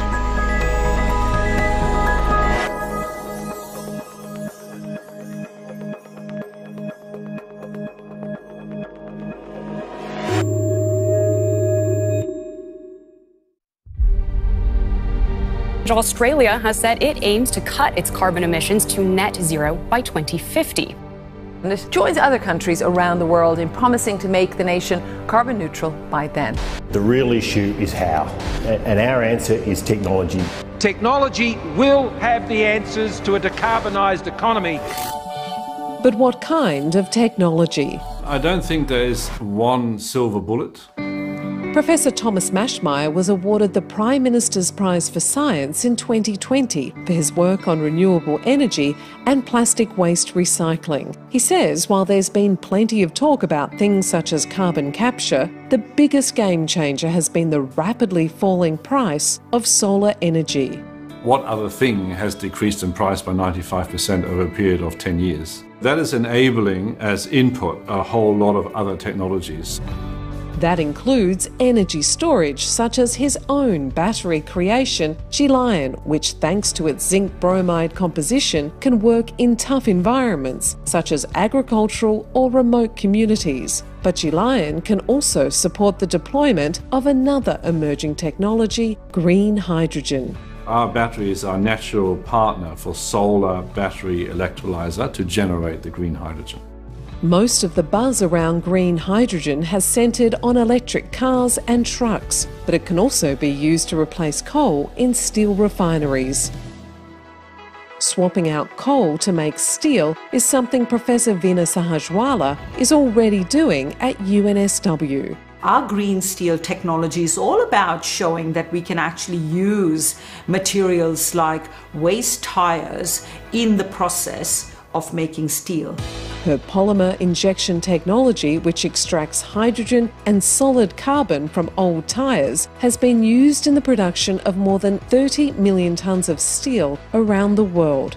Professor Sahajwalla is now even experimenting with using waste coffee as a source of carbon.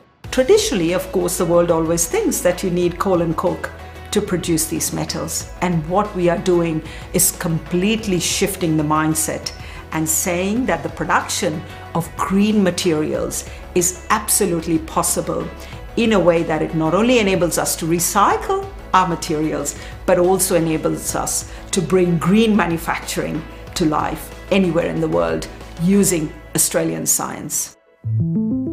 But Professor Maschmeyer cautions that science takes time. You have the idea, you've got to patent the idea in some form, you've got to build the team, You've got to validate and verify whatever your mousetrap is. It also takes money, and Australia currently spends less on research and development as a proportion of GDP than the OECD average.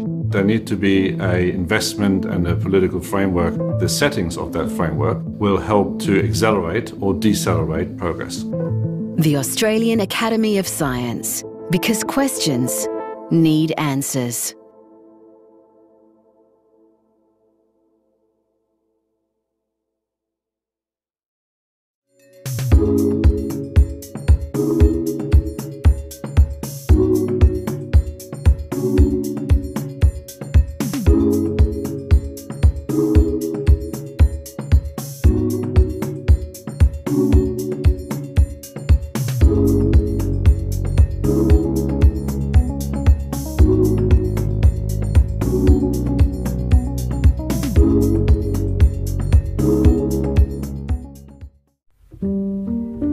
Pandemics have increased in frequency in the last few hundred years, and it's an obvious reflection of the way humans live. We have bigger populations, we're more connected, we're more urban, we're, we're denser, we interact more with wildlife species, we have deforestation. So it's going to happen more. I think climate change is really going to be a, a, key driver of this because as climates change, what will happen is that animals will change their distribution too because they're affected by climate change and they're probably grouped together more, allowing viruses to jump more between them. Humans who rely on animal species will need to change their way of their way of living, their, their livelihoods, their way of acquiring food, and they'll probably be exposed to new animal species and new pathogens too. So I think climate change and pandemics go hand in hand. Climate change will get more pandemics. If you look at people who live near wildlife, who work in animal markets or live, live near bat caves, they are very commonly exposed to viruses. It happens all the time. Even people in North America are very commonly exposed, for example, to, to swine flu viruses. Okay, so they're continually, people handle pigs, work in pig farms, go to pig fairs, their pig viruses come to humans. So this exposure is happening all the time. Okay, normally, luckily, they don't go anywhere. So there's one case and it burns itself out. Every so often, though, and increasingly often now in this modern world, you get a chance for the virus to get going, cause an epidemic or even a pandemic. The Australian Academy of Science. Because questions need answers.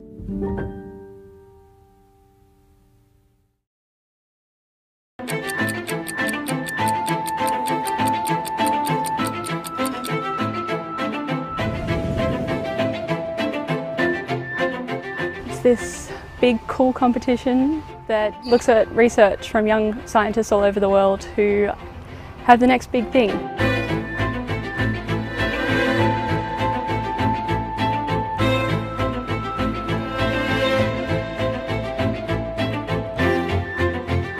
I've created a piece of technology that can empower people to retrain their balance in their own homes before they have those falls.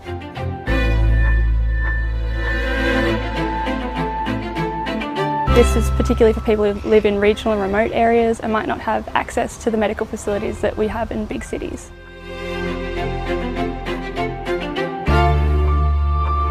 I work on designing and fabricating implants that we can load with multiple different chemotherapy drugs um, to actually insert inside the tumour.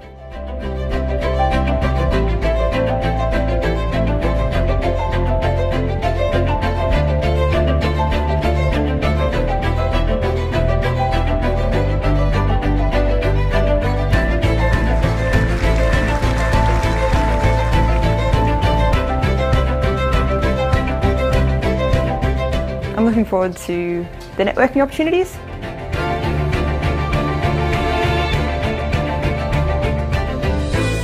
The Australian Academy of Science. Follow our Facebook page. We tend to think of glass as a good guy of the packaging world. That's why we use it for the important things like beer and luxury water. Kudos to the organisers for organising the prop. And there's a good reason for this. I mean, sure, it takes a lot of energy to make it in the first place, but once it's made, it's in theory infinitely recyclable and compared to plastics, relatively non polluting. But there's a big problem with glass, or more specifically, there's a big problem with little pieces of glass in the glass supply chain. Because when you smash a bottle and it breaks into pieces that you can't sort into the right colour, we can only make green glass from green glass or brown glass from brown glass. And so when the pieces are too small, it can't be made into glass anymore. That destroys its value and it's not reused. And that's why more than half of all glass is not recycled. That's more than 60 million tonnes a year, enough to build a wall roughly a metre high, a metre wide, and 40,000 kilometres long all the way around the equator. So, what's the big idea? Well, when you look at the supply chain of glass, We've got the raw materials, energy goes in, it's made into a bottle, it's either recycled or not. It's very similar to this chemical, sodium silicate. Sodium silicate is one of the most widely used industrial chemicals in the world. We consume about 10 million tonnes of it a year, and the global market's worth about $10 billion.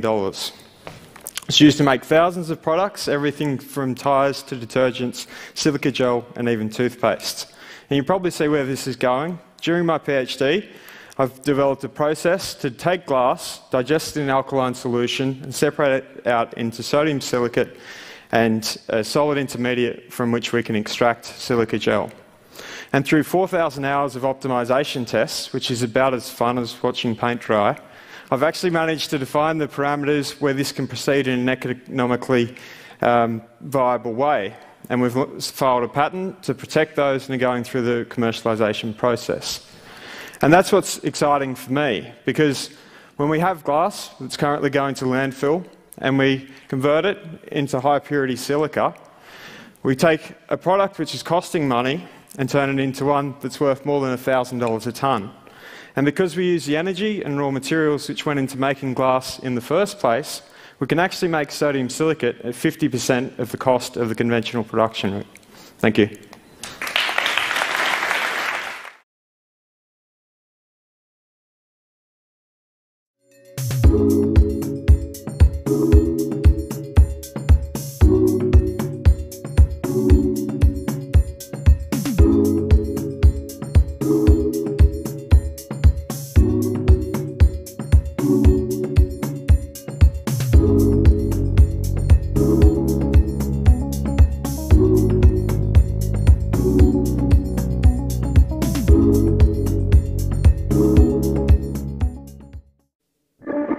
Astronomers think they may have found four exoplanets, or planets orbiting other suns beyond our solar system, using nothing more than low frequency radio waves.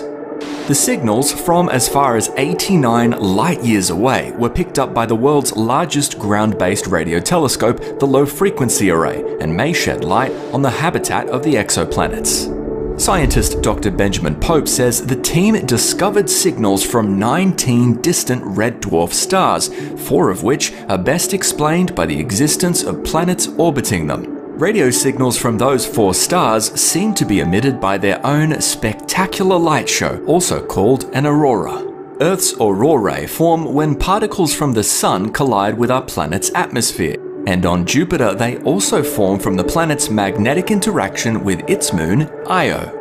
The aurorae detected by the researchers indicate the presence of a hidden exoplanet, magnetically connected to its star just as Io is to Jupiter. This means that they aren't shielded from any of their star's radioactive flares, making conditions on the surface too harsh for life. Co-author Dr. Joseph Callingham points out that Jupiter's volcanic moon blasts material out in space, filling Jupiter's environment with particles that drive unusually powerful aurorae.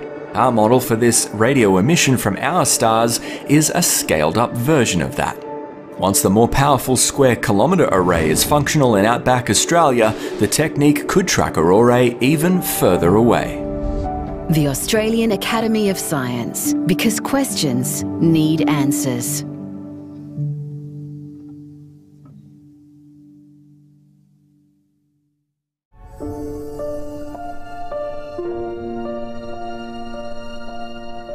Science matters to all of us. We're living in science. We're a world that's driven by science. A world without science would be a desolate sort of place. No technology, no electricity, no travel, no planes, no medicine. A good scientist is someone who can ask a really good question. Once you've answered it, it will have an impact on all sorts of other fields. With science, you're trying to uncover something no one else has ever managed to discover. I think the moment of discovery is a really interesting moment. The point where you realize that you're studying something that could be profoundly interesting and you can almost taste the discovery. It's the biggest buzz you can imagine, the aha moment. That, oh my God, we've got it. Live in a world of extraordinary challenges. The solutions to those challenges are more science and technology, not less. If the public have a deeper understanding of science, that allows them to make more informed choices about the way they live their lives, the way they interact with the planet, and being healthier, which ultimately impacts their families and their communities. The future doesn't happen to us, we get to decide. Those decisions will be about how we best use technology and science to solve the very many problems that are facing us. We have come a really long way in scientific discovery and innovation over the last hundred years, even in the last decade. But there is still so much that we don't know. The beauty of the universe, Understanding the basic building blocks of life. the beauty of how things work. With science, you can solve problems. With science, you can make discoveries that none of us could ever have imagined.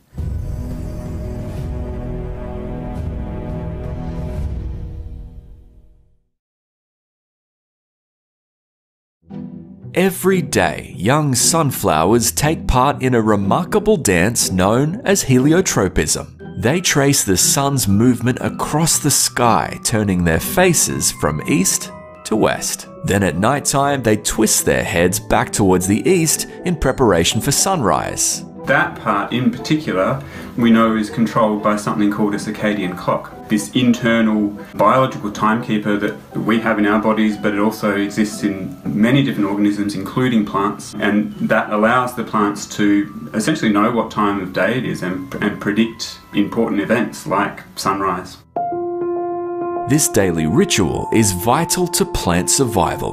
One study found that east facing sunflowers attract about five times as many pollinators as west facing ones during the early morning. That's partly because warmer sunflowers are better at producing and releasing pollen, while their increased exposure to sunlight also makes their colours or UV patterns more visible to insects like bees. Many flowers, including daisies and buttercups, are heliotropic. It's a trait that also increases photosynthesis in leaves, the process of how plants use sunlight, water, and carbon dioxide to create oxygen and nutrients.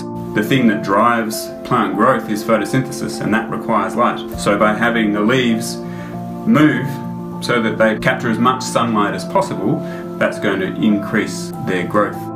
But this dance doesn't last forever, at least not for sunflowers. Once these flowers have matured, they will settle on facing east to continue attracting pollinators.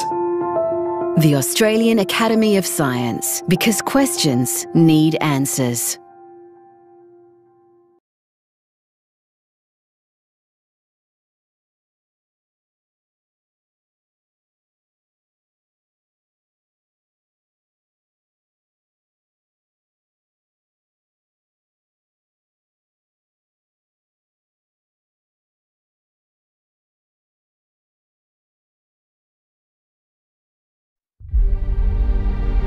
Australia has said it aims to cut its carbon emissions to net zero by 2050. And it joins other countries around the world in promising to make the nation carbon neutral by then. The real issue is how, and our answer is technology. Technology will have the answers to a decarbonised economy. But what kind of technology? I don't think there is one silver bullet. Professor Thomas Maschmeyer was awarded the Prime Minister's Prize for Science in 2020 for his work on renewable energy and plastic waste recycling. He says while there's been plenty of talk about things such as carbon capture, the biggest game changer has been the rapidly falling price of solar energy. What other thing has decreased in price by 95% over a period of 10 years? That is enabling as input a whole lot of other technologies. That includes energy storage, such as his own battery creation, Gelion, which, thanks to its zinc bromide composition, can work in tough environments, such as agricultural or remote communities. But Gelion can also support the deployment of another emerging technology, green hydrogen. Our battery is our natural partner for solar battery electrolyzer to generate the green hydrogen. Most of the buzz around green hydrogen has centred on electric cars and trucks, but it can also be used to replace coal in steel refineries. Swapping out coal to make steel is something Professor Veena Sahajwalla is already doing at UNSW. Our green steel technology is all about showing that we can actually use materials like waste tires in the process of making steel. Her polymer injection technology, which extracts hydrogen and solid carbon from old tyres, has been used in the production of more than 30 million tonnes of steel around the world. Professor Sahajwalla is now even experimenting with using waste coffee as a source of carbon. Traditionally, of course, the world always thinks that you need coal and coke to produce these metals. And what we are doing is completely shifting the mindset and saying that the production of green materials is absolutely possible in a way that it not only enables us to recycle our materials, but also enables us to bring green manufacturing to life anywhere in the world using Australian science. But Professor Maschmeyer cautions that science takes time. You have the idea, you've got to patent the idea in some form, you've got to build the team, you've got to validate and verify whatever your mousetrap is. It also takes money, and Australia currently spends less on research and development as a proportion of GDP than the OECD average. There need to be a investment and a political framework. The settings of that framework will help to accelerate or decelerate progress. The Australian Academy of Science, because questions need answers.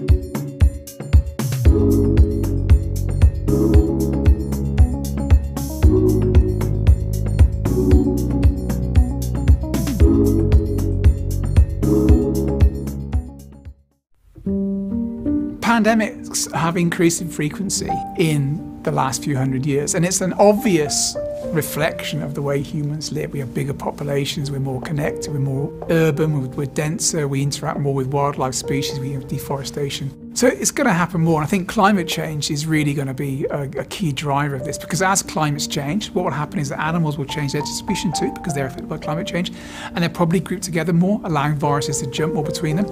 Humans who rely on animal species will need to change their way of, their way of living, their, their livelihoods, their way of acquiring food, and they'll probably be exposed to new animal species and new pathogens too. So I think climate change and pandemics go hand in hand. Climate change will get more pandemics.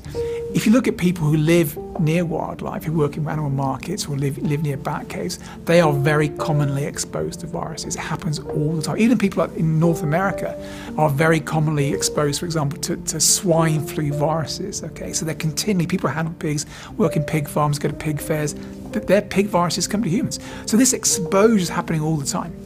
Okay, normally, luckily, they don't go anywhere. So there's one case and it burns itself out. Every so often, though, and increasingly often now in this modern world, you get a chance for the virus to get going, cause an epidemic or even a pandemic. The Australian Academy of Science, because questions need answers.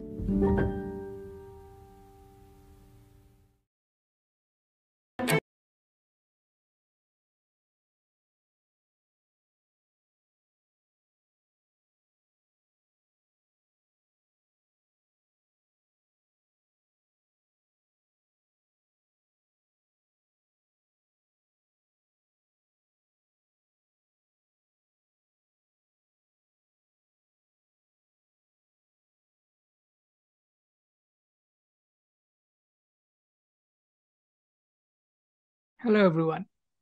Good afternoon to all of you. First of all, congratulations to all the finalists of the Falling Walls Lab Australia competition and to all the participants across the two heats who endeavored to submit their Breaking the Wall ideas.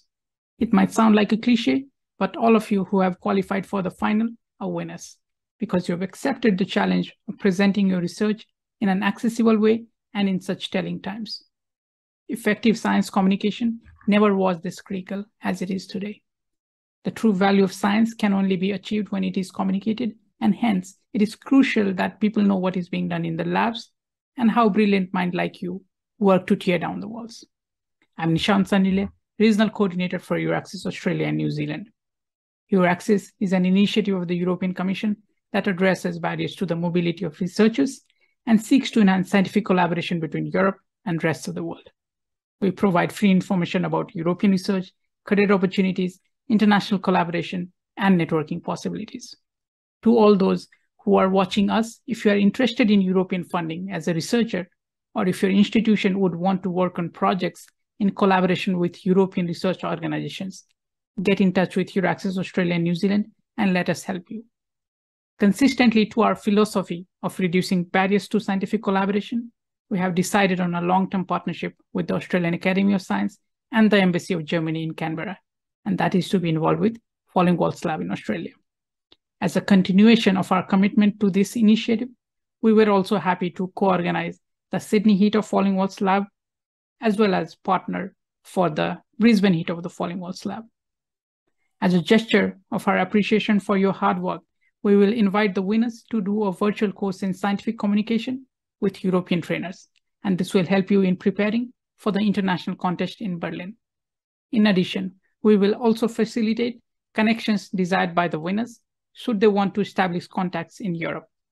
This could be to liaise them with research organizations in the field, connect them with any of the 600 plus EURAXESS centers in Europe, or introduce them to prestigious European Research Council grantees or Marie Curie fellows.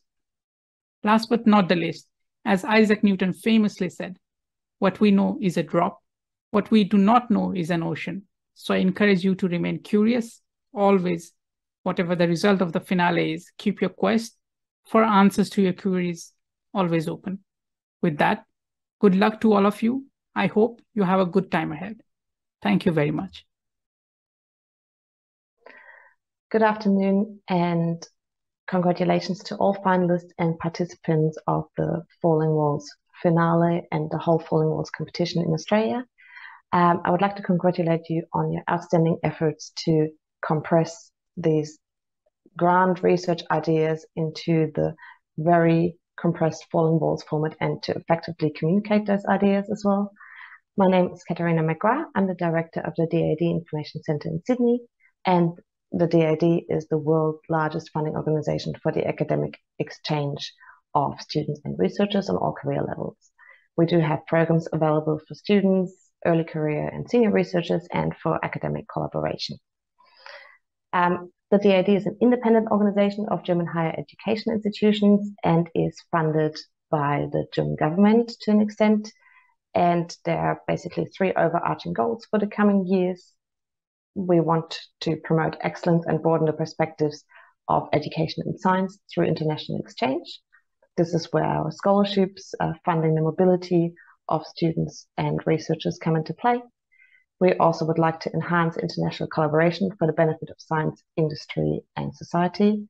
This is where our programs to support international uh, academic collaborations uh, feed in. And also, we would like to assist with assuming global responsibility and contributing to development and peace. The Information Centre in Sydney provides information on funding programs of the DAAD, as well as on general study and research opportunities in Germany and other funding opportunities. We present information and updates on our website and also operate an office in Sydney and can be contacted uh, by a person by phone or email. For the Falling Walls winner this year, we are very proud to be able to sponsor a trip to Germany to participate in the finale in Berlin and in the program surrounding the finale, such as the Research in Germany Day, and provide the winner also with various networking opportunities.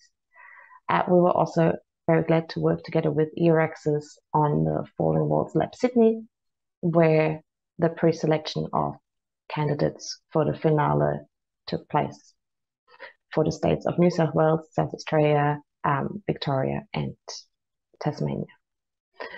Again, my heartfelt congratulations to all of you and on your outstanding efforts to communicate your scientific ideas. And please feel free to get in touch with us if you'd like to know more about study and research opportunities in Germany. Thank you. Thank you, Nishant. Thank you, Katerina. It's wonderful to have EURAXESS and DAAD as event partners, and we look forward to continuing our relationship with you into the future.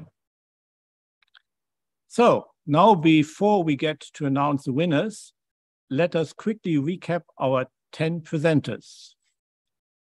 Tess Brading from Queensland University of Technology, Mars Buttfield Addison from the University of Tasmania, Chanchal Kurup from the Australian Catholic University, Martino Malerba from Deakin University, Danielle Lee from Griffith University, Fiona Harshini Roymond Desmond Godfrey from Monash University, Mervyn Fraser from the Australian National University, Nipuni Pifa Fandrich from Queensland University of Technology, Oliver Lotz from the University of Sydney, and Clara Jiang from the University of Queensland.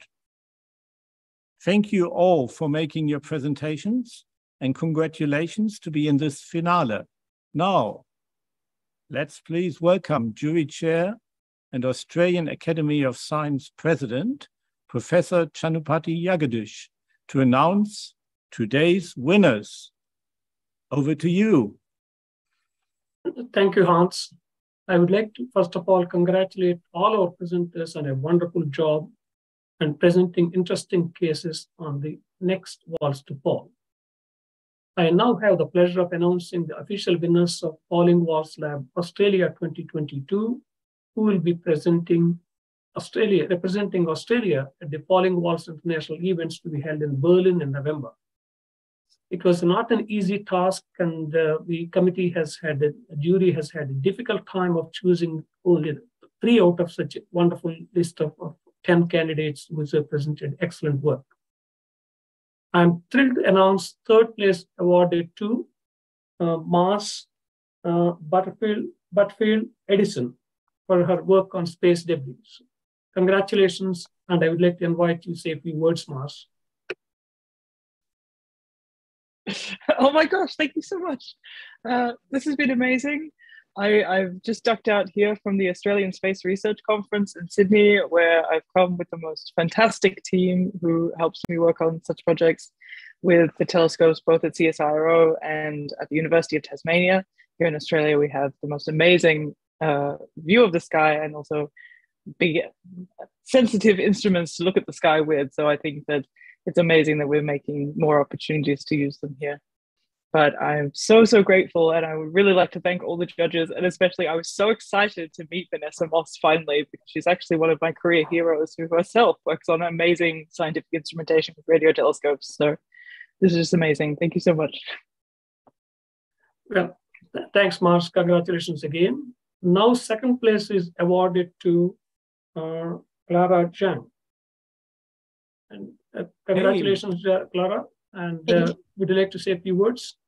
Yes, um, I would like to thank the jury and I would also like to say well done to all the finalists.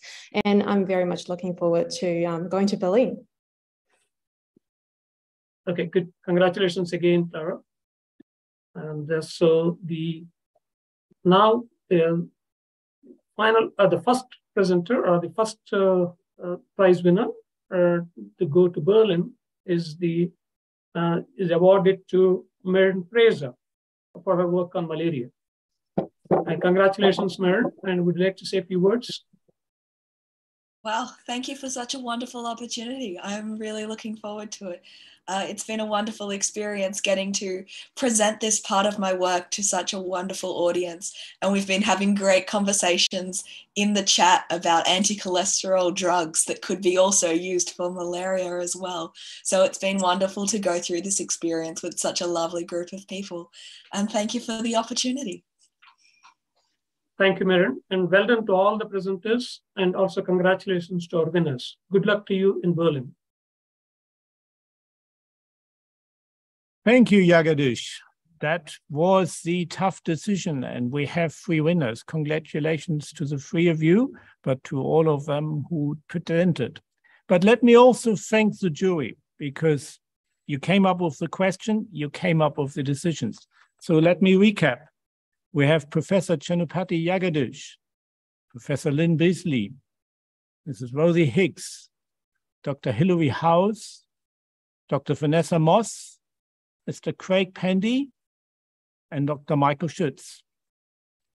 Now, we have to thank the event partners and sponsors, both locally and globally, who make Falling Walls Lab possible, not just here, but around the world in 90 labs.